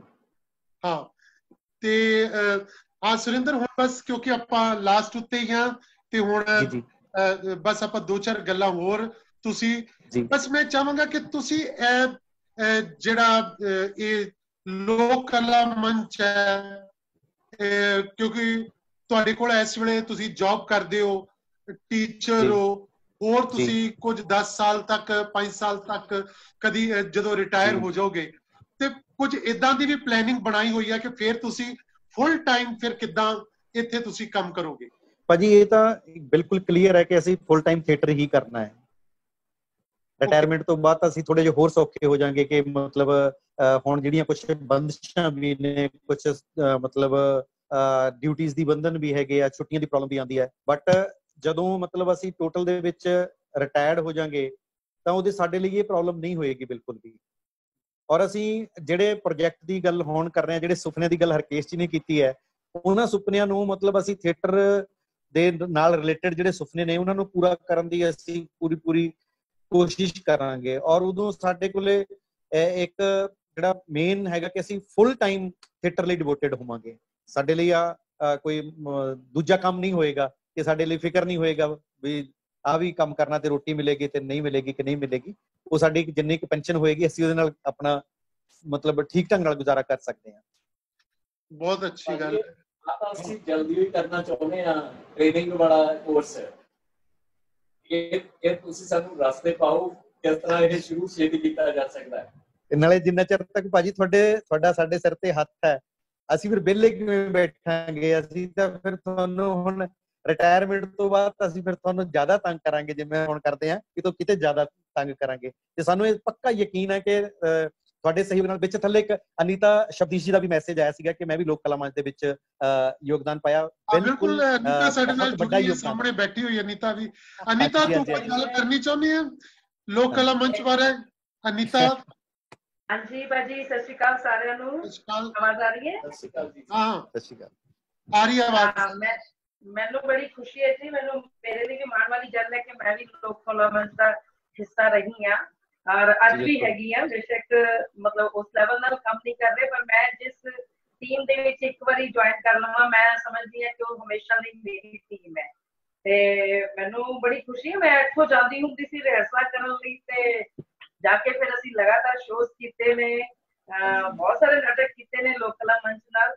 ਤੇ ਮੈਨੂੰ ਉਹ ਪੁਰਾਣੇ ਵਾਲਾ ਆਫਿਸ ਵੀ ਯਾਦ ਹੈ ਹਰਕੇਸ਼ ਜਿੱਥੇ ਬੈਠ ਕੇ ਰੀਡਿੰਗ ਕਰਦੇ ਹੁੰਦੇ ਸੀ ਮੀਟਿੰਗਸ ਵੀ ਹੁੰਦੀਆਂ ਸੀ। ਉਹ ਇੱਕ ਹਵੇਲੀ ਸੀ ਮੈਨੂੰ ਯਾਦ ਹੈ ਉਹ ਇੱਕ ਹਵੇਲੀ ਜੀ ਚਬਾਰੇ ਤੇ ਚੜ ਕੇ ਇਹਨਾਂ ਦਾ ਆਫਿਸ ਹਾਂਜੀ ਹਾਂਜੀ ਹਾਂ, ਤੁਸੀਂ ਹਾਂਜੀ ਹਾਂਜੀ ਹਾਂਜੀ ਮੈਂ ਵੀ ਗਿਆ ਸੀ ਉੱਥੇ ਆਫਿਸ ਚ ਹਾਂ। ਹਾਂਜੀ ਗਏ ਹਾਂ। ਹਾਂਜੀ ਭਾਜੀ ਅਹ, ਤੁਸੀਂ ਉਹਦੇ ਥੈਂਕ ਯੂ ਮਿਸਟਰ ਕਲਰਡ ਵੇਲੇ ਵੀ ਆਏ ਸੀਗੇ ਉਦੋਂ ਅਨੀਤਾ ਵੀ ਸਾਡੇ ਨਾਲ ਕੰਮ ਕਰ ਰਹੀ ਸੀਗੀ। ਔਰ ਮੈਂ ਦੇਖ ਰਿਹਾ ਬਿਲਕੁਲ ਮੈਂ ਆਇਆ ਸੀ ਔਰ ਅਹ, ਮੈਂ ਦੇਖ ਰਿਹਾ ਕਿੰਨਾ ਵਧੀਆ ਲੱਗ ਰਿਹਾ ਹੈ। ਕਿ ਇਹ ਰੰਗਮੰਚ ਦਾ ਇੱਕ ਪਰਿਵਾਰ ਹੈ ਕਿ ਇੱਕ। ਦੂਜੇ ਥੀਏਟਰ ਗਰੁੱਪ ਦੇ ਨਾਲ ਮਿਲ ਕੇ ਤੁਸੀਂ ਇੱਕ ਦੂਜੇ ਨੂੰ ਸਹਿਯੋਗ ਕਰਦੇ ਹੋ ਜੇ ਲੋੜ ਹੈ ਤੁਸੀਂ ਉਹਦੇ ਕੋਲ ਜਾਂਦੇ ਹੋ ਉਹਨਾਂ ਨੂੰ ਆਪਣੇ ਕੋਲ ਬੁਲਾਉਂਦੇ ਹੋ ਇਹ ਇਹੀ ਮੇਰਾ ਖਿਆਲ ਇੱਕ ਰੰਗਮੰਚ ਦੀ ਜਿਹੜੀ ਤਾਕਤ ਹੈ ਕਿ ਤੁਸੀਂ ਜਦੋਂ ਇੱਕ ਦੂਜੇ ਨੂੰ ਸਹਿਯੋਗ ਕਰਦੇ ਹੋ ਦੂਜੇ ਦੀ ਪ੍ਰੋਬਲਮ ਨੂੰ ਸਮਝਦੇ ਹੋ ਤੇ ਉਹਨੂੰ ਸਹਿਯੋਗ ਕਰਕੇ ਉਹਦੀ ਕਾਮਯਾਬੀ ਦਾ ਹਿੱਸਾ ਬਣਦੇ ਹੋ ਸੋ ਇਸ ਤਰ੍ਹਾਂ ਅਨੀਤਾ ਹਰਕੇਸ਼ ਹੁਰਾਂ ਕੋਲ ਹਰਕੇਸ਼ ਹੁਰੀ ਸਾਡੇ ਕੋਲ ਅਸੀਂ ਤੁਹਾਡੇ ਕੋਲ। ਮੈਂ ਹਰਕੇਸ਼ ਪਿਛਲੇ ਦਿਨਾਂ ਵਿੱਚ ਸਰੀਨ ਸਾਹਿਬ ਮੈਂ ਦੇਖ ਰਿਹਾ ਸੀ ਕਿ ਇਸ ਵੇਲੇ ਲਗਭਗ ਸਾਡੇ ਕੋਲ 100 ਤੋਂ ਵੱਧ ਥੀਏਟਰ ਗਰੁੱਪ ਹੈ ਪੰਜਾਬ ਦੇ ਵਿੱਚ। ਜੇ ਮੈਂ ਅਹ, 40 ਥੀਏਟਰ ਗਰੁੱਪ ਤੇ ਅੰਮ੍ਰਿਤਸਰ ਦੇ ਵਿੱਚ ਹੀ ਨੇ ਇਸ ਵੇਲੇ। ਔਰ ਮੈਂ ਜਦੋਂ ਦੇਖ ਰਿਹਾ ਕਿ ਜਦੋਂ ਦੀ ਅਸੀਂ ਥੀਏਟਰ ਵਰਕਸ਼ਾਪ ਸ਼ੁਰੂ ਕੀਤੀਆਂ 2001 ਦੇ ਵਿੱਚ ਨੈਸ਼ਨਲ ਸਕੂਲ ਆਫ ਡਰਾਮਾ ਨਾਲ ਮਿਲ ਕੇ ਔਰ ਮੈਕਸਿਮਮ 100 ਥੀਏਟਰ ਗਰੁੱਪ ਦੇ ਵਿੱਚੋਂ ਲਗਭਗ 80 ਥੀਏਟਰ ਗਰੁੱਪ ਉਹ ਨੇ ਜਿਨ੍ਹਾਂ ਨੇ ਸਾਡੀ ਥੀਏਟਰ ਵਰਕਸ਼ਾਪ ਦੇ ਵਿੱਚੋਂ ਜਾ ਕੇ ਮੁੜ ਕੇ ਉਹਨਾਂ ਨੇ ਥੀਏਟਰ ਗਰੁੱਪ ਬਣਾਏ। ਸੋ ਉਹ ਅਜੇ ਵੀ ਸਾਡੇ ਕੋਲ ਆਉਂਦੇ ਨੇ, ਮੈਂ ਉਹਨਾਂ ਦੇ ਸੱਦੇ ਤੇ ਉੱਥੇ ਜਾਣਾ ਵਾਂ। ਸੋ ਉਹ ਇਹ ਇੱਕ ਵੱਡਾ ਪਰਿਵਾਰ ਹੈ, ਸਾਡੇ ਕੋਲ ਪੂਰੇ ਦਾ ਪੂਰਾ। ਸੋ ਇਹ ਇੱਕ ਦਿਲ ਨੂੰ ਸਕੂਨ ਦੇਣ ਵਾਲੀ ਗੱਲ ਹੈ ਕਿ ਜਦੋਂ ਅਸੀਂ ਕੰਮ ਕਰ ਰਹੇ ਹੋਈਏ, ਤੇ ਚੰਗਾ ਲੱਗਦਾ ਹੈ ਵੀ ਅਸੀਂ ਕਹੀਏ ਵੀ ਉਸ ਸ਼ਹਿਰ ਵਿੱਚ ਵੀ ਸਾਡੇ ਨੇ ਇਹ ਫਲਾਣੇ ਸ਼ਹਿਰ ਚੋਂ ਵੀ ਸਾਡੇ ਆ ਅਨੀਤਾ ਵੀ ਸਾਡੀ ਹੈ ਲੱਖਾ ਵੀ ਸਾਡਾ ਹੈ ਸਿਮੂ ਵੀ ਸਾਡਾ ਹੈ ਰਕੇਸ਼ ਵੀ ਸਾਡੇ ਨੇ ਇਹ ਸਾਰੇ ਸਾਡੇ ਕੋਲ ਇੱਥੇ ਟ੍ਰੇਨਿੰਗ ਲੈ ਕੇ ਗਏ ਨੇ। ਸੋ ਇਹ ਇੱਕ ਪਰਿਵਾਰ ਹੈ। ਸੋ ਇਸ ਪਰਿਵਾਰ ਨੂੰ ਮੇਰੇ ਖਿਆਲ ਸਲੂਟ ਕਰਨਾ ਬਣਦਾ ਹੈ? ਤੁਹਾਡੇ ਬਾਜੀ ਪਹਿਲਾਂ ਤੁਹਾਨੂੰ ਵੀ ਸਲੂਟ ਕਰਨਾ ਬਣਦਾ ਹੈ ਕਿਉਂਕਿ ਤੁਹਾਡੀ ਬਦੌਲਤ ਅੱਜ ਅਸੀਂ ਸਾਰੇ ਇਕੱਠੇ ਹੋਏ ਆ ਇਸ ਮੰਚ ਦੇ ਉੱਤੇ। ਬਿਲਕੁਲ। ਮੈਨੂੰ ਤਾਂ ਲੱਗਦਾ ਹੈ ਕਿ ਮੈਂ ਸੱਚੀ ਮੁੱਚੀ ਇਹ ਕਰੋਨਾ ਸ਼ਰੋਨਾ ਜੋ ਵੀ ਆਇਆ ਇਹ ਤਾਂ ਮੈਨੂੰ ਐ ਲੱਗਦਾ ਹੈ ਕਿ ਇਹਨੇ ਸਾਨੂੰ ਸਿਖਾਇਆ ਬਹੁਤ ਕੁਝ ਹੈ। ਔਰ। ਇਸ ਤਰ੍ਹਾਂ ਅਸੀਂ ਆਨਲਾਈਨ ਇਕੱਠੇ ਹੋ ਕੇ ਗੱਲਬਾਤ ਕਰ ਸਕਦੇ ਹਾਂ ਡਿਸਕਸ ਕਰ ਸਕਦੇ ਹਾਂ ਬਹੁਤ ਸਾਰੀਆਂ ਗੱਲਾਂ ਜਿਹੜੇ ਅਸੀਂ ਕਦੀ ਇੱਕ ਦੂਜੇ ਨੂੰ ਕਈ ਵਾਰੀ ਅਸੀਂ ਇੰਨੇ ਬਿਜ਼ੀ ਹੁੰਦੇ ਹਾਂ ਵੀ ਅਸੀਂ ਇੱਕ ਦੂਜੇ ਨੂੰ ਫੋਨ ਤੱਕ ਨਹੀਂ ਕਰਦੇ। ਪਰ ਇਸ ਮੰਚ ਦੇ ਜ਼ਰੀਏ ਅਸੀਂ ਸਾਰੇ ਅੱਜ ਇਕੱਠੇ ਬੈਠੇ ਹੋਏ ਹਾਂ ਗੱਲਬਾਤ ਕਰ ਰਹੇ ਹਾਂ। ਰੀਅਲੀ ਮੈਨੂੰ ਬਹੁਤ ਚੰਗਾ ਲੱਗ ਰਿਹਾ ਥੈਂਕ ਯੂ ਸੋ ਮਚ ਬਾਜੀ salute to you Punjab Sangeet Natak Academy ਦਾ ਵੀ ਧੰਨਵਾਦ। ਥੈਂਕ ਯੂ ਥੈਂਕ ਯੂ ਕੱਲ ਆਪਾਂ ਫੇਰ ਦੋਸਤੋ ਮਿਲਾਂਗੇ। ਕੱਲ ਸ਼ਾਮ ਨੂੰ 5 ਵਜੇ ਫੇਰ 71 ਸਿੰਘ ਨਾਲ ਆਪਾਂ ਗੱਲ ਕਰਾਂਗੇ। ਸੋ ਗੁਰਸ਼ਰਨ ਭਾਜੀ ਦੇ ਰੰਗਮੰਚ ਦੀਆਂ ਪੈੜਾਂ ਨੂੰ ਜਿਵੇਂ ਉਸਨੇ ਅੱਗੇ ਤੋਰਿਆ ਵਾ, ਉਹਨਾਂ ਨਾਟਕਾਂ ਦੀ ਅੱਗੇ ਤੋਰਿਆ ਵਾ। ਚੰਡੀਗੜ੍ਹ ਸਕੂਲ ਆਫ ਡਰਾਮਾ ਨੂੰ ਲੈ ਕੇ ਅੱਗੇ ਤੁਰਿਆ, ਉਹਦੇ ਬਾਰੇ ਆਪਾਂ ਕੁਝ ਗੱਲਾਂ ਕਰਾਂਗੇ। ਜਿਹੜਾ ਸਫ਼ਰ ਉਹਨੇ ਗੁਰਸ਼ਰਨ ਭਾਜੀ ਦੇ ਆਖਰੀ ਸਮਿਆਂ ਦੇ ਵਿੱਚ ਜਿਹੜਾ ਭਾਜੀ ਦੇ ਨਾਲ ਬਿਤਾਏ ਪਲ ਨੇ, ਉਹਨਾਂ ਨੂੰ ਅਸੀਂ ਯਾਦ ਕਰਾਂਗੇ ਤੇ ਪਰਸੋਂ ਨੂੰ ਅਸੀਂ ਅਨੀਤਾ ਸ਼ਬਦੀਸ਼ ਦੇ ਨਾਲ ਉਹ ਗੱਲਾਂ ਕਰਾਂਗੇ, ਜਿਹੜੀਆਂ ਉਹਦੀ ਅਦਾਕਾਰੀ ਨਾਲ ਜੁੜੀਆਂ ਨੇ, ਜਿਹੜੀਆਂ ਉਹਦੇ ਰੰਗਮੰਚ ਨਿਰਦੇਸ਼ਨਾਂ ਨਾਲ ਜੁੜੀਆਂ ਨੇ ਸੋ ਉਹਦੇ, ਉਸ ਸਟਾਈਲ ਦੇ ਨਾਲ, ਉਸ ਵਿਧੀ ਦੇ ਨਾਲ ਜੁੜੀਆਂ। ਸੋ ਅਨੀਤਾ, ਅਸੀਂ ਤੇਰੇ ਨਾਲ ਪਰਸੋਂ ਗੱਲਾਂ ਕਰਾਂਗੇ ਤੇ ਕੱਲ ਅਸੀਂ 71 ਨਾਲ ਗੱਲਾਂ ਕਰਾਂਗੇ। ਸੋ ਬਹੁਤ ਸ਼ੁਕਰੀਆ ਹਰਕੇਸ਼, ਸੁਰਿੰਦਰ, ਸਾਰੇ ਦੋਸਤਾਂ ਦਾ ਤੇ ਕੱਲ ਫੇਰ ਮਿਲਦੇ ਆਂ 5 ਤੋਂ 6 ਵਜੇ।